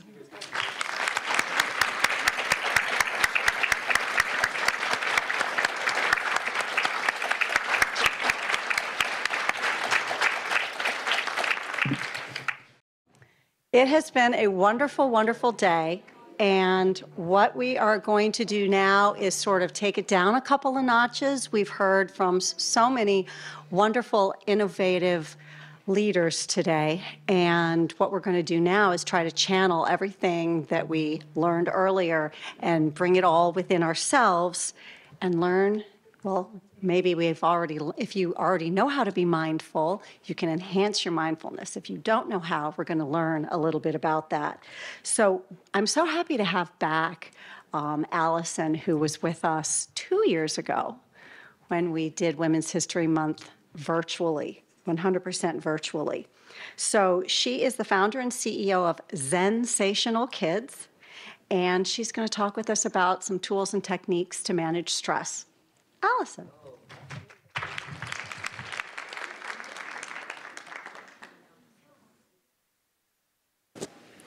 Okay, can everybody hear me? Okay, wonderful. Thank you so much. It's so great um, to be here with all of you today in person. Last time I was, like as Jennifer said, virtually, which is great too, everybody in their privacy in their own space, but there's something about the collective energy of us all being together that is incredibly special. Um, so today, you know, I wanted to talk about, you know, leading with clarity, calm, and compassion, because I think it's easy for us to all say, like, wow, if I can embody those things, just life would be so much easier. Yes? Yes. And um, one thing that was just so inspiring today with Tamika is her talking about her vulnerability and her willingness to be authentic and put herself out there and lift other people up and really be a helpful force. And I think we could all say, like, I want to be more like that. Yes? Like, raise your hand if you could say, like, yeah, yeah, like, I'm all for that too. And one of the things that I, I, you know, I speak often for school districts, really, working with educators. And educators feel all of that too, of, of wanting to really help those that they work with, really serve others and lift them up. And I think that the greatest barrier that we have right now, and I don't know who, I think it was you, and I'm sorry I don't remember your name, but when you ask Tamika the question, or just the statement of, but I'm just exhausted. How many of you can relate to just feeling exhausted? Yeah, and I, I think that I almost feel like COVID has made that a bit worse. We, we are actually a bit more exhausted because we're trying to do more or we're trying to balance more. We're trying to balance how we worked before, how maybe we parented before, and how we can, like the possibility of how we can now. And we're trying to find some balance in all of that. But what I know for sure is like when we are at the point of just feeling physically exhausted, we really don't have a lot of inner resources within ourselves to care for ourselves. Because even when we're exhausted, I'm sure a lot of you can relate to this, you will much sooner care for somebody else before yourself. Yes? I think that's the nature of being a woman also. So what I'm hoping that, that you will gain from our hour or so together are some tools that you can use for yourself to boost your own inner resources of self-care, of compassion, of managing your own inner state. If you could please go to the, to the next slide. I really have to give up control here because I don't have a clicker. You're making it easy for me, but it's kind of hard. Um, so um, just to back up a little bit of who I am and what I do. So Jennifer told you I am the founder and CEO of a company called Zensational Kids.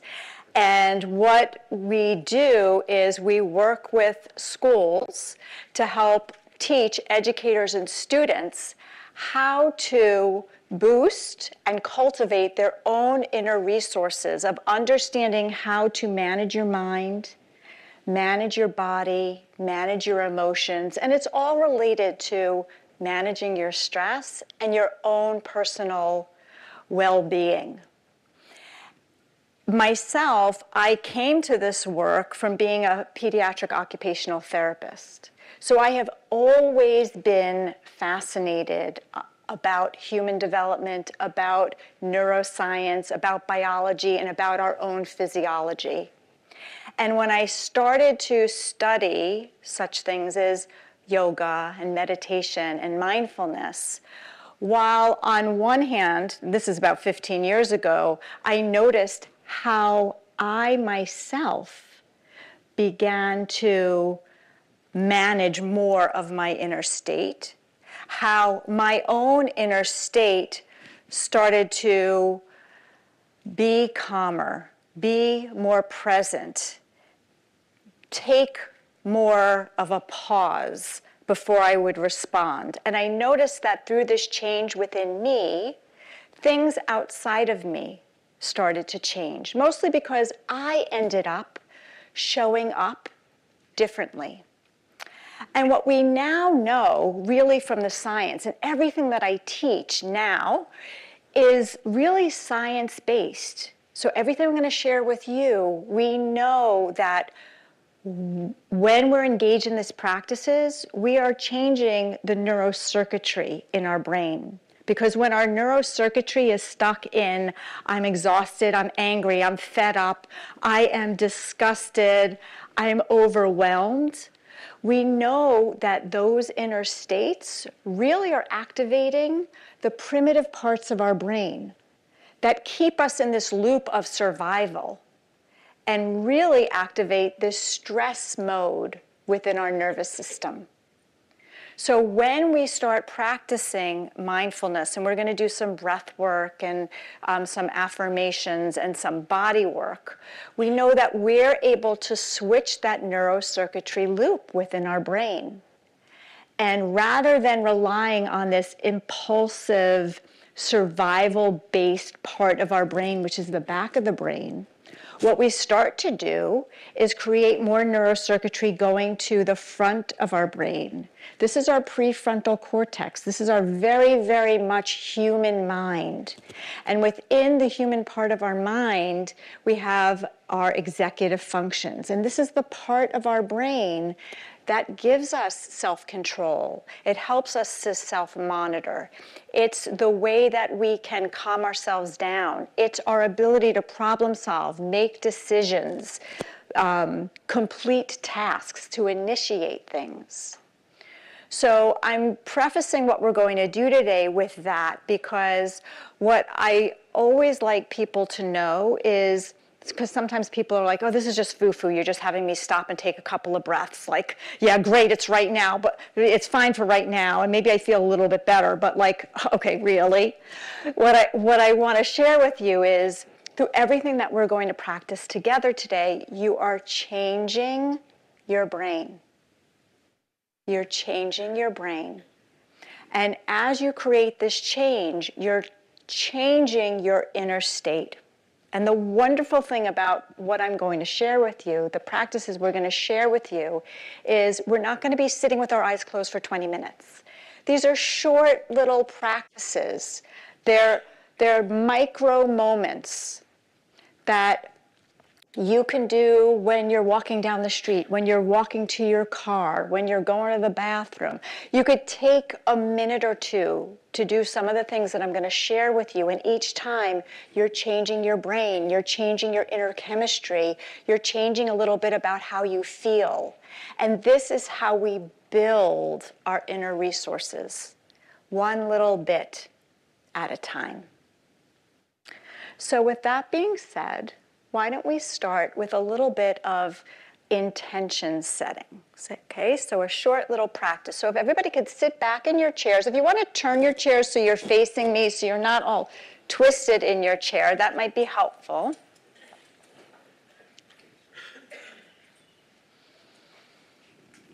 Okay, and make sure your feet are on the floor. One of the reasons why um, in seated mindfulness practices, we have your feet on the floor, is that it's very important that you yourself, in your mind and your body, you feel safe. So when our feet are on the floor, we kind of energetically are being held by the earth. Okay, so feet on the floor is a sense of safety. Just bring your hands to your lap and gently close your eyes. Okay, and I call this like a five point check in. So, first, just notice your breath. Notice that you're breathing in and out. Nobody needs to teach you how to do that. You automatically know how to do that. And maybe you just become a little bit curious about the quality of your breath. So, what do I mean by that? Is your breath long and deep? Is it short and scattered? Does it feel warm? Does it feel cold? There's no right answer here.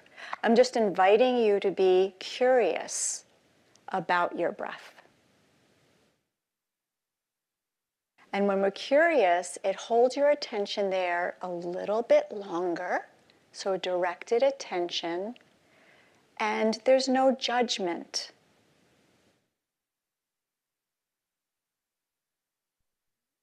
And now bring your attention just to your mind. Notice are there thoughts moving in and out? Are you just paying attention to the sound of my voice? Is there some persnickety thing that your mind is telling you? Just notice. Again, not with judgment. This is just you in this moment.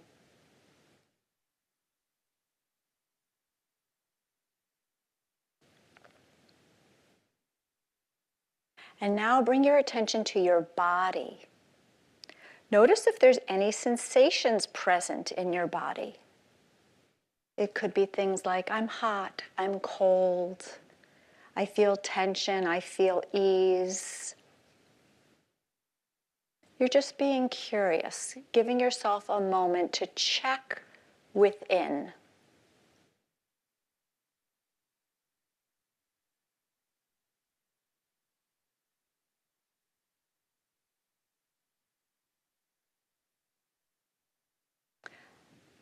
And now notice if there are any emotions that come up. How are you feeling right now? Or maybe how have you been feeling lately? Or maybe how have you been feeling just today? What emotions seem to be sparking something in you today?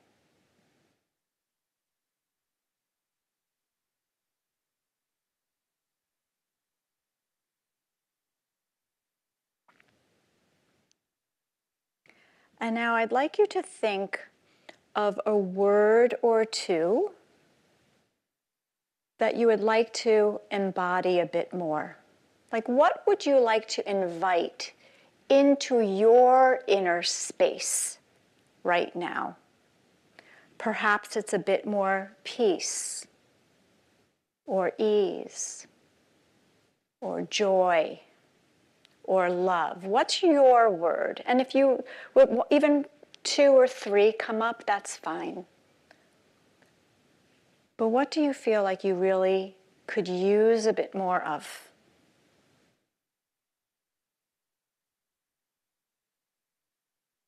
And then uh, what I'd like you to do is imagine that there is a golden light over your head. And that light shines down right to the top of your head. And just like water being poured from a faucet, whatever your word or your few words are, imagine that those words are being poured from that golden light into the top of your head. They enter the crown of your head and fill your whole brain. It fills your face, your shoulders, your heart, your arms, all the way down to your fingers. It fills your chest cavity, fills your lungs, fills your ribs, down to your belly.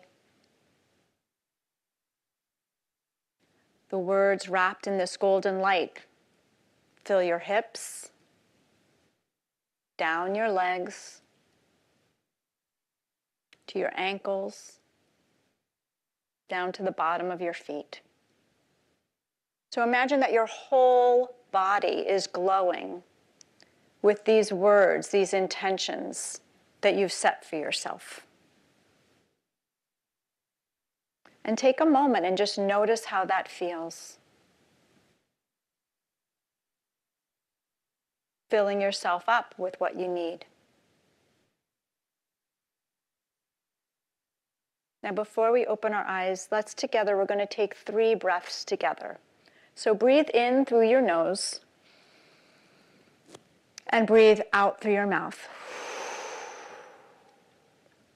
Again, breathe in through your nose and breathe out through your mouth. Last time, breathe in through your nose. And this time, breathe out through your nose. Take a moment and just notice how you feel from the inside out. Notice for yourself. How do you feel? And when you're ready, just flutter your eyes open and bring yourself back to this space.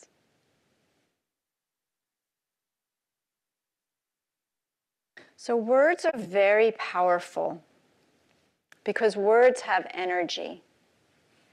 And we're very, very quick to hold on to the words based on what we see right in front of us or how we feel in the midst of what's in front of us. And lately, I think a lot of the words are overwhelmed, tired, frustrated, angry. But the more we keep saying those words and noticing that those feelings within us, the more that those things are going to perpetuate within us. And now it takes a little bit of work, but I'm sure that whatever word you picked for you, you have evidence that it already exists there every day. But what we tend to do is we, I mean, this is the human brain, we tend to focus more on the negative. So when I say it takes work, it takes work to remember, it takes work to say these words to ourselves over and over again, even if when you wake up in the morning and you write them down and you put them on the mirror or you put them on your car rear view mirror we remember the words that we intentionally want to embody and carry with us. Because how we show up, what is within us, is going to always be reflected in our outside world. So if we can remember to carry our intentions with us, we're more likely to see a world that reflects that back to us. All right, so here's another thing that I would like to share with you. It's ways that we can move our body to help release all of the angst and the stress that we feel. So, everybody knows exercise is wonderful for us, right? Um, and I think probably a great barrier for us to really exercising every day is desire. No.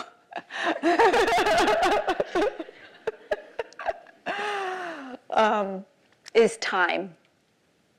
Right? You work a long day, you're exhausted, you come home, you cook dinner. Like, who's, who's going to the gym? But here's what we know um, about, about movement. For many of us, we have stress, trauma, adversity, all of these things that um, tense our body and inhibit our well being. It's not just here. It's not that we have these thoughts that we just want to throw away. It really does reside in our body. So, the wonderful thing about exercise is it gives us a way to release it. So, what I'd like to do is teach you a quick way, a quick little routine so that you can release it on your own. Okay, so I'm going to have you all stand up, please.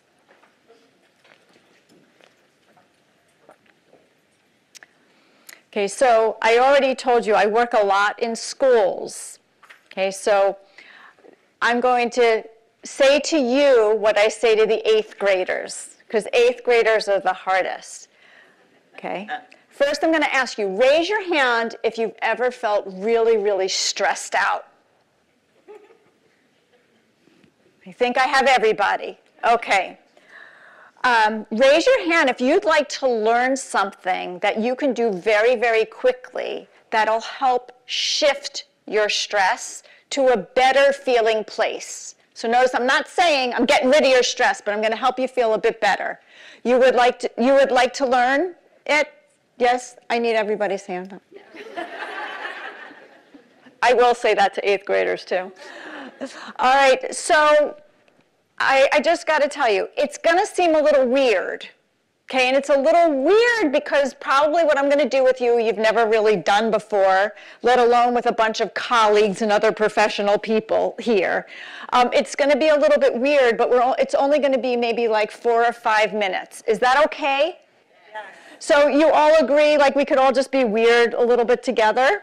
Okay, but we're also, it's going to be kind of like a science experiment because you'll get to decide whether or not, like, huh, that felt good or I'm never doing that again. Everybody's in? Yep. Awesome. You guys are great. All right, we're going to start. Well, put your feet about hip distance apart so you have a good base of support. And we're going to start with tapping the top of our head. So you're just going to use your fingertips like raindrops, tapping the top of your head. Okay, and then we're going to move to the back of our head. Now, while you're doing this, you want to be deeply breathing in and out through the nose. A lot to concentrate on, right? Okay, come to the forehead. And then the side of your eyes, like your temples. Remember, you're breathing.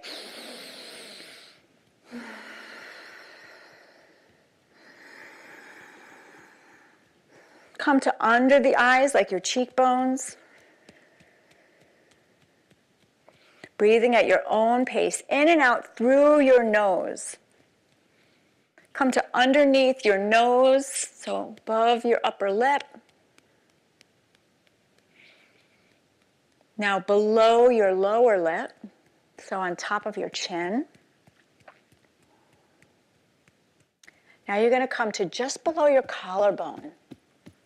So these are all energy centers of our body. So we're helping open up the flow of energy. You're going to come to the center of your chest. Okay, now you're going to take your whole hand and you're going to start tapping one shoulder. It's like you're giving yourself like, good job, good job, good job. You're going to tap down your arm and then flip your hand over, tap up. Remember, breathing in and out through your nose. Tap up. Tap down. Tap up. One more time. And then come over to the other side. Tap down and up, down. You actually all don't look as weird as I thought you were going to look. It's good. One more time. Up and down. And now come to your chest like a Tarzan. You're going to tap down your belly to your hips. Then you can make little fists with your hands, and you're going to tap like right above your hips, like by your kidneys, like a little drum. All right, then we're going to tap down the front of our legs and up the back of our legs.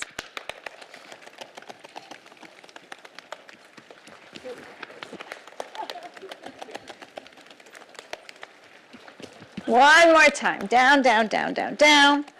Up, up, up, up, up. Take a big breath in. Reach your arms all the way up. You're going to tighten every muscle in your body. Tight, tight, tight, tight, tight.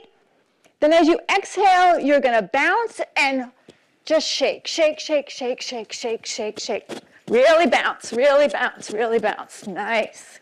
Okay, we're going to do that again. Big breaths in. Reach all the way up. Make everything tight, tight, tight, tight, tight. We call this like frozen butter. Frozen butter. Exhale, bounce and melt. Last time. Big breath in. Tight, tight, tight. Hold that breath in. Exhale, shake and bounce. Shake, shake, shake and bounce. We're going to stay here for a count of 10. Okay, one two, three, four, five, six, seven, eight, nine. Get her on film. Ten. Very nice. Big breath in, arms out to the side. Big breath out. Give yourself a nice tight hug. You can even say to yourself, I love you. You say that to yourself. Big breath in, arms out. Cross them over. Big squeeze. Say to yourself, I love you. Love you. You're so awesome. All right, big breath in and arms down, out.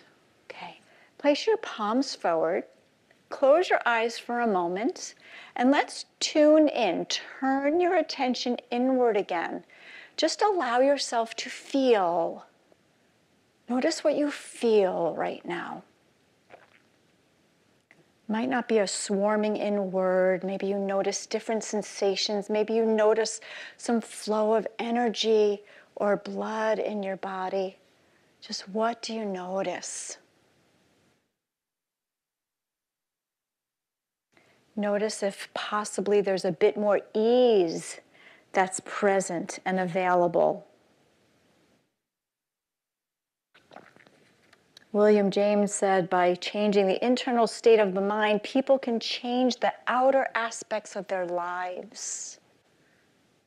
Okay, with what we're doing right now, you're changing the inner aspect of your body, of your mind. Okay, and when you're ready, you can flutter your eyes open, bringing yourself back to the room. Was that worth doing something a little weird? Yeah, awesome. Okay, come sit down. Next slide, please.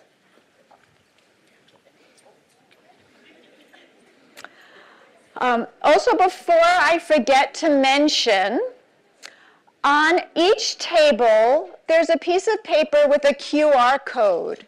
I created, um, it's kind of like a self-care workbook for you. It's about, I don't know, 15 or 16 pages, but you can scan that QR code and many of the practices that I'm sharing with you today are in that workbook along with some others. Um, because what I am very, very much passionate about is supporting you and being able to do these. I mean, I consider these really short, sweet little exercises to help you build your own resilience, resilience and your own ability to constantly find states of inner clarity, calm, and compassion. So, um, so please remember to, to check out that QR code. Okay, your breath. Your breath has the power to consistently bring you back home to your true self. So, your true self is all those intentions that you let come in through that beautiful golden light. Your true self is you are joy. You are goodness. You are happiness. You are kindness. You are grace. You are power. You are courage. You are brave. You are all of those things. Okay? But often the world around us gets us stuck, gets us really, really stuck and overwhelmed. The beautiful thing about our breath of always being available to call us back to that inner self.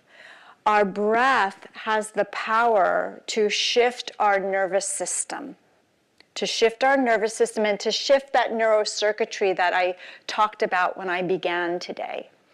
So, the thing about our breath, while we all do it so perfectly well, right? You're all alive, right? So you're all breathing. It's that we have the power to shift and manipulate how we breathe to change our neurocircuitry and our neurochemistry, which is so cool that we can do that. So I'd like to teach you a few ways of how you can make that happen within yourself. So we're going to come back to that position that we started with, with our feet on the floor and our hands in our lap and our spine nice and tall in our seat. Okay, and once again, I'm going to have you close your eyes. And the reason for having you close your eyes is that we're so visually distracted. We're like you know, information monsters. Our sensory systems are always looking for information, but right now I'd like you to turn everything inward so it just is helpful when you close your eyes. And once again, bring your attention to your breath. Notice you are breathing in and out. This happens naturally. Nobody needs to teach you how to do this. You know how to do it. And now I invite you to very gently place one hand over your heart and one hand on your belly. And I'd like you to get curious here.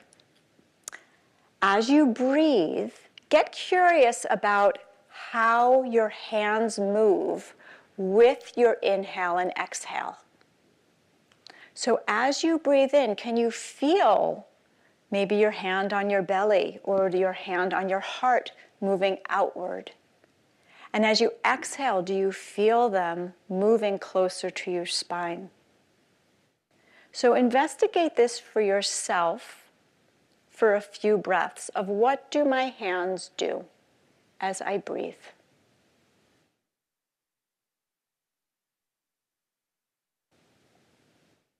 Know that the hand on your heart is over your upper two lobes of your lungs, and the hand in your belly can sense the inflation and deflation of the large lower lobes of your lungs.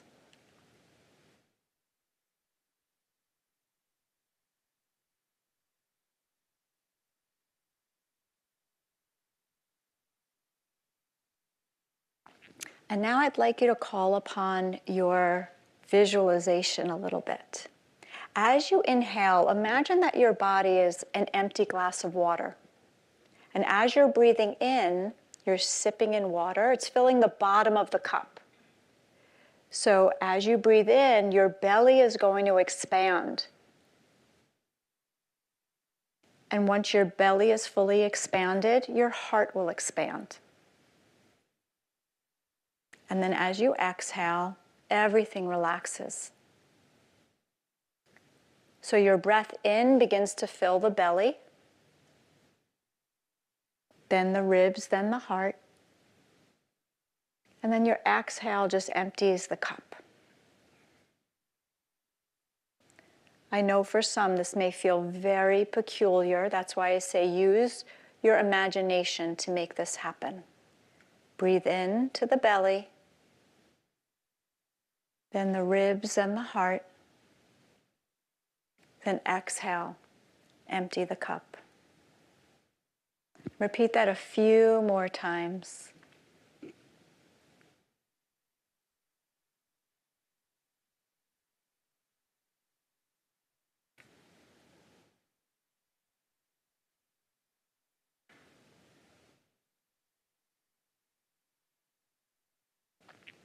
I'm also going to invite you to recall that intention word that you set for yourself in the beginning. And as you breathe in, say to yourself, I am. And on the exhale, repeat that word. So it may be, I am calm, or I am patient, or I am joyful, whatever your word is. But we could use these few breaths to remind our mind and our body what we want, what we want to embody.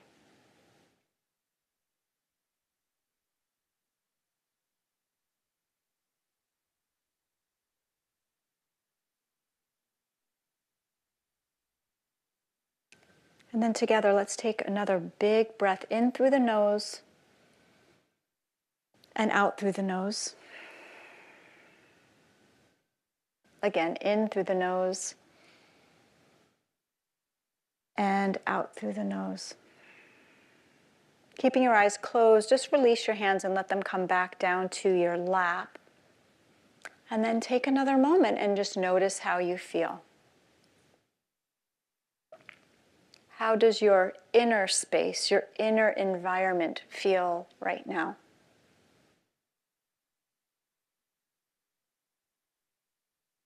And when you're ready, just flutter your eyes open to come back into the room.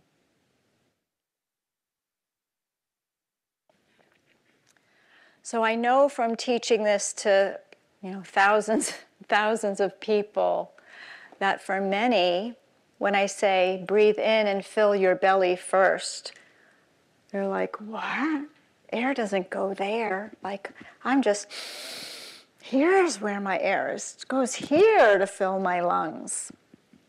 I promise you that breath does move your belly. Okay? Many of you, I'm sure, have heard of belly breathing. Now, we all know how to breathe in that way belly first, and then heart for collarbone. Because babies are born breathing that way. It is our natural state of breathing.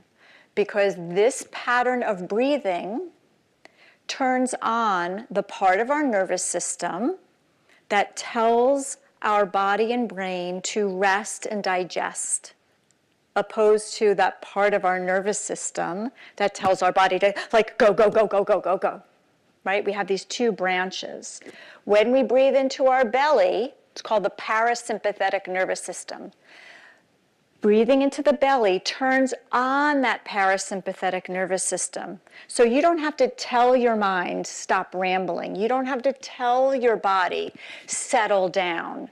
Your body automatically will do it when you breathe into your belly several times in a row. The challenge is that when we lead lives that are very stressful, when we lead lives where we are compulsively doing, doing, doing, going, going, going, we need to stay in a stress state in order to be able to keep up at that pace. It's not normal. It's also not healthy.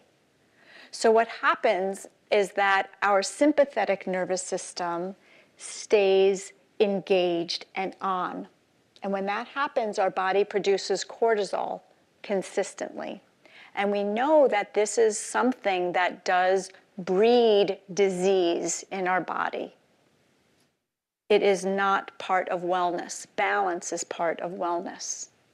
So, having a tool like this, in, I always say in your back pocket, is really, really handy because even though I would say probably I didn't I can't see from here who could who's breathing into their belly and who's not, but from my experience, 50% of you probably were not breathing into your belly right now. I promise you, if you practice this a little bit, not for a half hour, every time you think of it, put your hand on your belly and say, Breathe into my belly. If you practice this, it will not take you long. It could take maybe a couple of days, maybe, maybe a week. You will feel it and you will have that control valve in your back pocket to help switch your inner state to a greater state of calm by just changing your pattern of breath. And this is very powerful because when you are able to change your pattern of breath, you change the neurocircuitry, you change the hormones running through your body, you change that inner environment. And we know when you change the inner environment, what happens on the outside? It changes. It changes. I don't know about you, but I would much prefer to have an outer environment that is calm and joyful, respectful, and compassionate.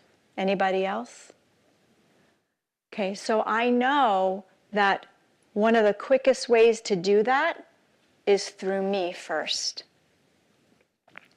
So when I was um, practicing as a pediatric occupational therapist in schools, um, I don't know about you in your work environment, but I had a lot of people that uh, really stressed me out. Does anybody experience that? Right? You know, like the teacher that was always complaining about something or wanted me to do something that wasn't in my job description. Um, and I would recall when I first learned about using this breathing technique, I remember walking down the hallway of the school encountering a force coming at me that I typically would want to turn around and run the other way. I would see them coming and I would just breathe. Breathe into my belly, walk. And sometimes I'd use those affirmations or intentions. And this is quick. I'm not talking about like a long hallway. It was in elementary school, not that long. But it would change that interaction tremendously. Tremendously. So I task you of trying that out and then emailing me and telling me. All right, can we have the next slide? I just want to check my time here. Okay. So it is very easy for us to become overwhelmed by the energy of other people, like my example of the teacher coming at me with everything that they wanted me to do, all of these all of these things, and then me becoming overwhelmed by the energy that they bring to a situation or a confrontation or an interaction. Have any of you walked into a room and you just you feel it? You feel the energy immediately? So, what I'm hoping you will learn or you will practice is how you don't become the energy that's in the room. You be the energy in the room. And I know that you all have the power to do this, whether you're aware of it. Helps if you're aware of it. But even if you're not, there's a miraculous thing that our nervous system does. Our nervous system, based on how we're feeling, has a vibration, a frequency. And what we innately know how to do is match that vibration or that frequency of another nervous system. In development, we call it co regulation. And babies are not born knowing how to calm themselves.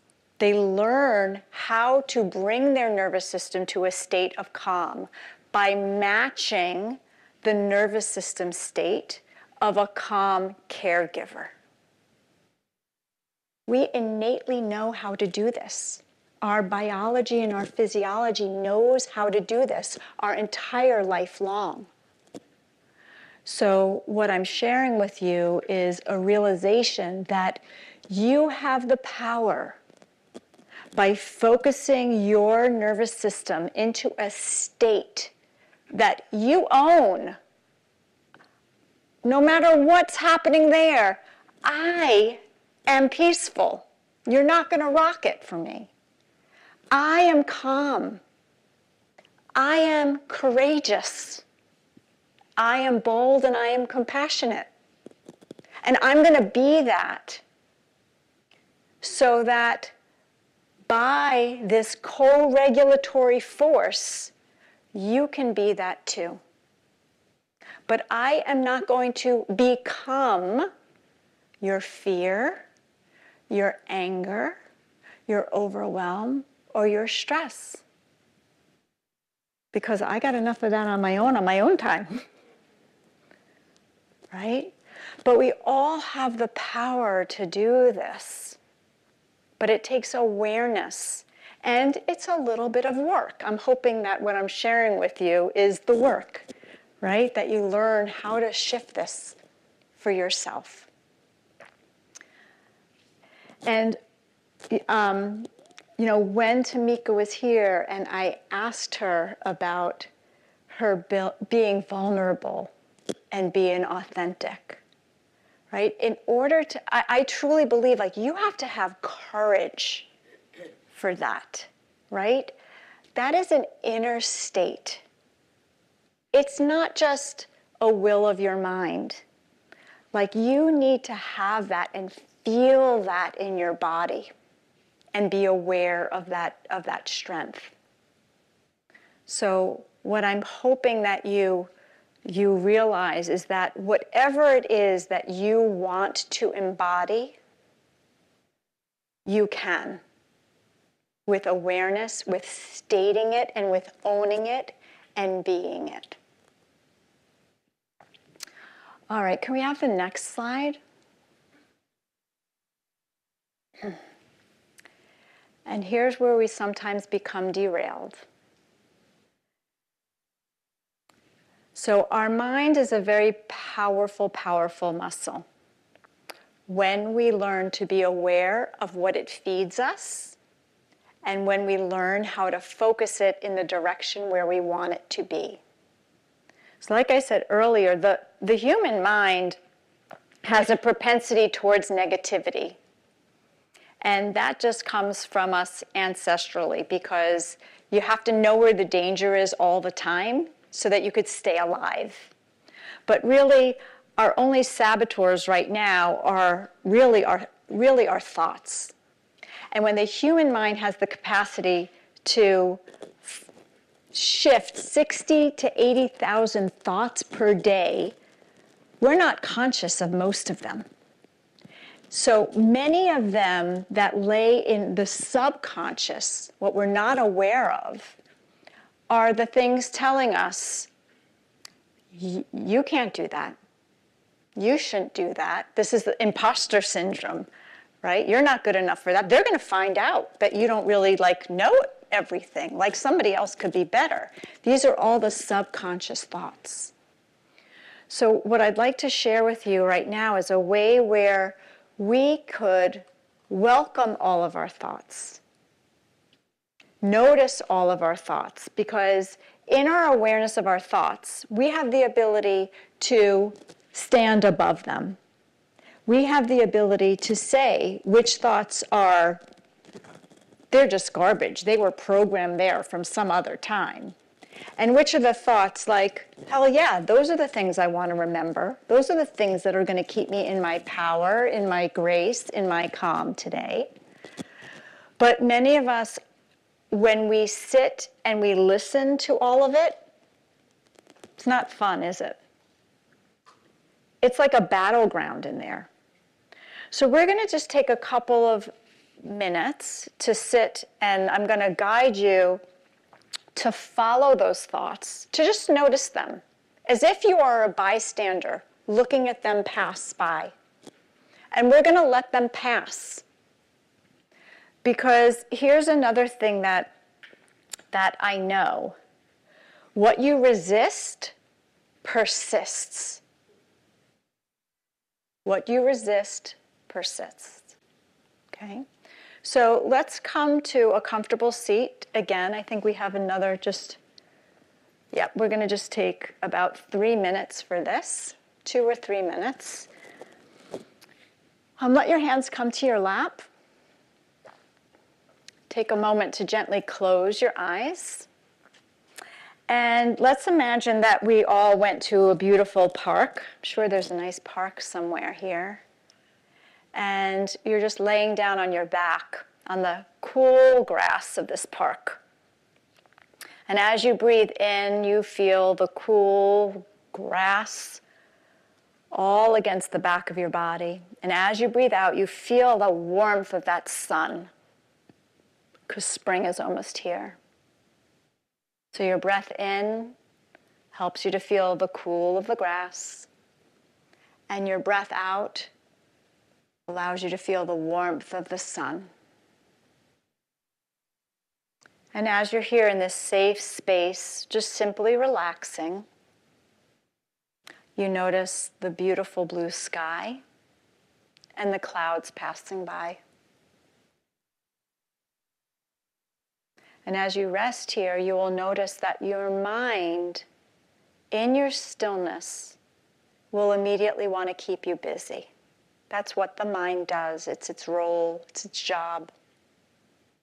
You're just the bystander right now, watching the fluctuation, the play of the mind. So notice the thoughts that come in. Don't push them away, just notice them. Acknowledge the thought, and then place it in a cloud up in the sky and let it just softly drift away. Just release the thought.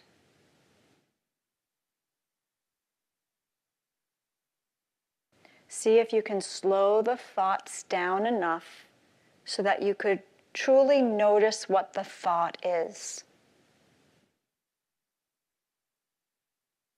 But once you notice it, place it in the cloud and let it pass.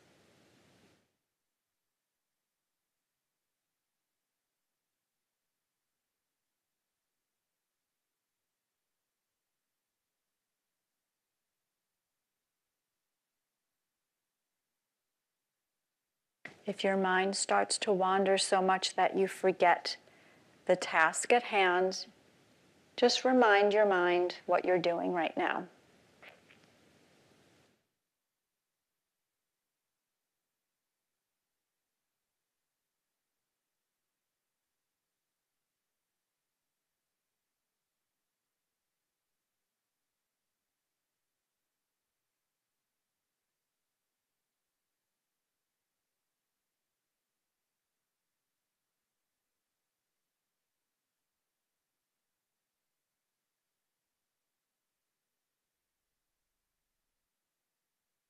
And then together, let's take a deep breath in through our nose. So breathe in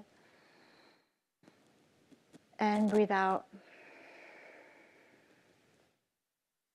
One more time, breathe in and breathe out. Last time, big breath in through your nose. Now, as you breathe out, just imagine letting all the clouds drift by, clear sky clear sky. And when you're ready, gently flutter your eyes open, bringing yourself back to this space. So, if you were in eighth grade, I would have you write down your thoughts. Whatever it was that came up on a piece of paper, write them all down. And then I would have you take a red marker and cross out every thought that was just mean, was a worry, was something when you read it just stressed you out. Cross out all of those thoughts. And any thought that came through your mind that was one of, I'm awesome, this feels good, I know I'm going to do great today. Any thought that was positive, stating your worthiness and your awesomeness, circle it. Now, in that task, many times, for every 10 negative thoughts, there's only one or two positive ones, but that's okay because this is part of brain training. And then what I would have you do is write down the thoughts that you want your brain to say to you. Write them down. Because as you think, you become whatever it is that you say to yourself, whether you're aware of the thought or not, you become that. It's like your internal instruction. And this is why a practice like this is so powerful because very often we don't realize how much garbage our mind sends us sometimes. But this is your path for rewiring reprogramming that for yourself so that in the foreground, you're saying to yourself positive things, but then the positive things start to inhabit in the background as well. And it is all within our power.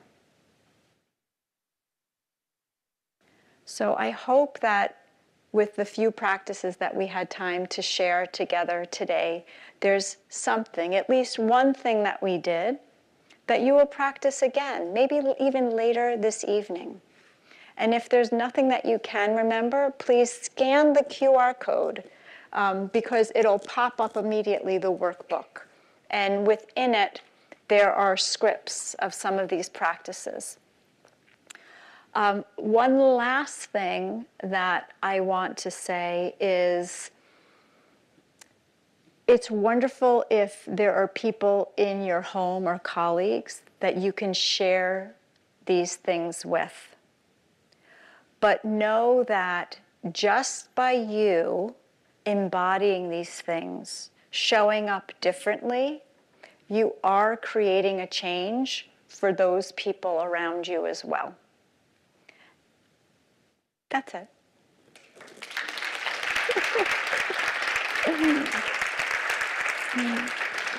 Thank you. So I think we have a few minutes for questions.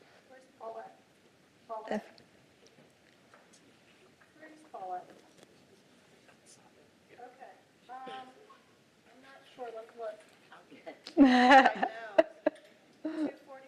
Three forty-five.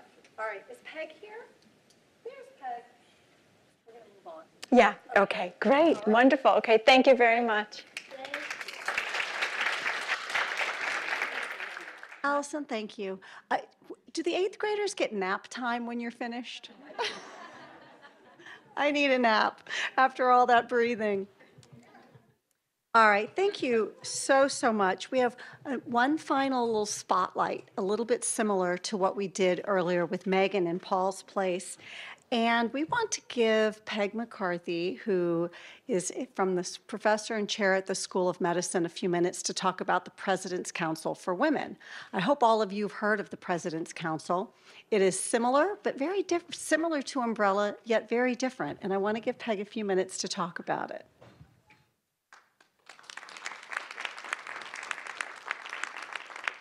Thanks, Jennifer. That was actually going to be my first question is how many of you have heard of the PCW?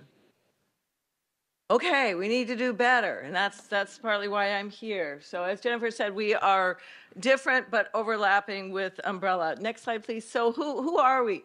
Uh, we were. It was initiated by President Jay Perman as one of his last uh, official acts, um, and then it was carried on by President Jarrell after that. Uh, thank goodness. Uh, I have been the chair since its initiation and have had two co-chairs. Um, right now we have Patty Alvarez and um, Susan Buskirk as our co-chairs. Uh, we have representations from every single unit on the campus, and I literally mean every single unit. Uh, well, I should be careful. Never say absolutely everything. Uh, very, very, very broad representation across the campus at every rank, from staff, trainees, faculties, deans, and VPs the interim president of the Midtown Hospital on the council. And our total membership fluctuates around 40 people. Next slide. Our mission is to foster an environment of equity, opportunity, and fulfillment for all women in the UMB campus. And that means that we try to find issues that cross cut to affect all women, right? And that is actually one of our challenges because uh, women at different ranks and in different positions often have unique challenges, but there are some that are common to all of us. Next question. And our purpose is to take on a leadership role, participate in, and have a voice in the development of institutional initiatives, policies, and procedures to ensure such efforts are equitable and inclusive. PCW will partner with other entities with overlapping goals to implement tactics identified in the university's strategic plan in order to achieve any gender equity goals. Next slide, please. So our collaborators are obviously Umbrella. Uh, WIMS is a Women in Medicine and Science group, and then there are additional small uh, women's groups in some of the other schools that we need to liaison with better. And then the uh, the DAC, the, the Diversity uh, Advisory Committee, which is now under um, Diane Forbes Berthoud's uh, office, who we're also working with very closely. Next slide, please. We have four subcommittees. The Gender Equity and Access Committee, this is to just look at things like promotion rates, salaries, et cetera, uh, that opportunities are equal. The Family Committee, which is mostly focused on child care. Uh, the Gender and Discrimination Committee, that is same thing to make sure that we have the actual data to show that we're getting good representation. And then the Education Ag- Ag- Advocacy and Awareness Committee, which is not to uh, is not to do educational activities, but to educate people about uh, the um, the PCW and make sure that we can get everyone engaged. Because the more we get you all knowing about us and engaged, the more you can bring issues to us to be addressed. Next slide. Please. And our achievements are we, um, during the pandemic, we were hit with the pandemic pretty quickly after we were established. Uh, uh, Jenny Owens established a parenting and pandemic affinity support groups for uh, parents of different age groups, and that was very helpful to a lot of of parents. We created and uh, posted the PCW top 10 suggestions for supervisors of women and trainees and their employees during the pandemic. Uh, we held an open forum discussion around race, gender, and intersectionality after the killing of George Floyd. And this was led by Juliet Dickerson and was very impactful for those of us who uh, were privileged to participate. We brought attention to uh, school and campus surveys on salary equity and kept kind of pushing to make sure that those occurred. We proposed a financial incentive by campus to offer childcare costs uh, which led to the campus implementation of the UMB child care uh, grant that we now have. We're keeping very close tabs on that. We think that there needs to be a lot more work done in that space. That is the one truly cross-cutting issue for all of us uh, is access to affordable, high-quality health uh, child care. And then we encourage uh, gender equity in major recruitment, such as deans, et cetera. Whenever one occurs, the search committee gets a letter from us saying, you know, we're watching, make sure that you get plenty of candidates. Uh, next slide, please. And our future goals are to bring uh, attention and support to students who are parents. Our student body is an older student body. Uh, we need to extend the UMB Child Care Grant to students right now. They are not uh, considered eligible. Uh, we are working with the Title IX office to sort of tweak our workplace uh, harassment and hostility training to be more appropriate to a university setting and less corporate. Ensure adequate coaching access for trainees who are women, which I think that's been well attended to by Umbrella and other entities. Seek campus-wide consistency in exit interviews, as well as implementing why do you stay interviews, which has been modeled by the School of Nursing.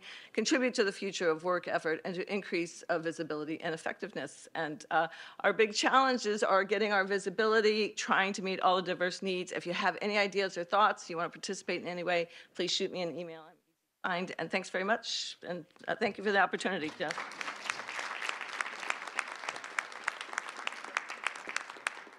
Thank you, Peg. I think an important thing to note, um, and Peg just briefly touched on it, the PCW is more of a policy-oriented organization, um, and it is advisory to the president. So a lot of the work that they do is to make sure that we have the policies in place, fix the policies that need fixing, and um, make sure that those policies are being adhered to. And Peg, one of your um, accomplishments there was making sure that we have um, um focus on uh, equity in searches. And I am very pleased to say, out of our um, eight deans, seven schools, and the dean of the library, five of those eight deans are women. So, yay to that. Okay, so long day. Is it okay to drink before four o'clock? Um, so I, I, just want to let you know that there will be a survey that you will be getting, and we really encourage you to fill it out because we do pay attention. And I made a joke about drinking before four o'clock, but one of the notations we got at the 2019 symposium, which was in person, that at this point everyone just went home or went back to work or went somewhere, and we didn't get the opportunity to really just kind of stay together and talk about what we had learned and the people we had interacted with and the speakers who had spoken. So we do have a social um, hour now and outside those doors, um, just a little wine and cheese and enjoy yourselves and your colleagues here today. Um, I also want to make a comment. I asked for Paulette before. Please, Paulette, tell me you're here. There she is. I want to say, you know, we've been celebrating International Women. We've been celebrating Women's History Month. We celebrated our fabulous speakers. We celebrated our award winners. And I want to celebrate Paulette. Without her, this day would not have happened.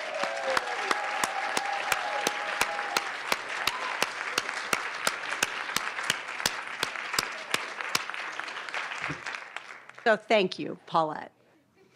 All right, so one, two things.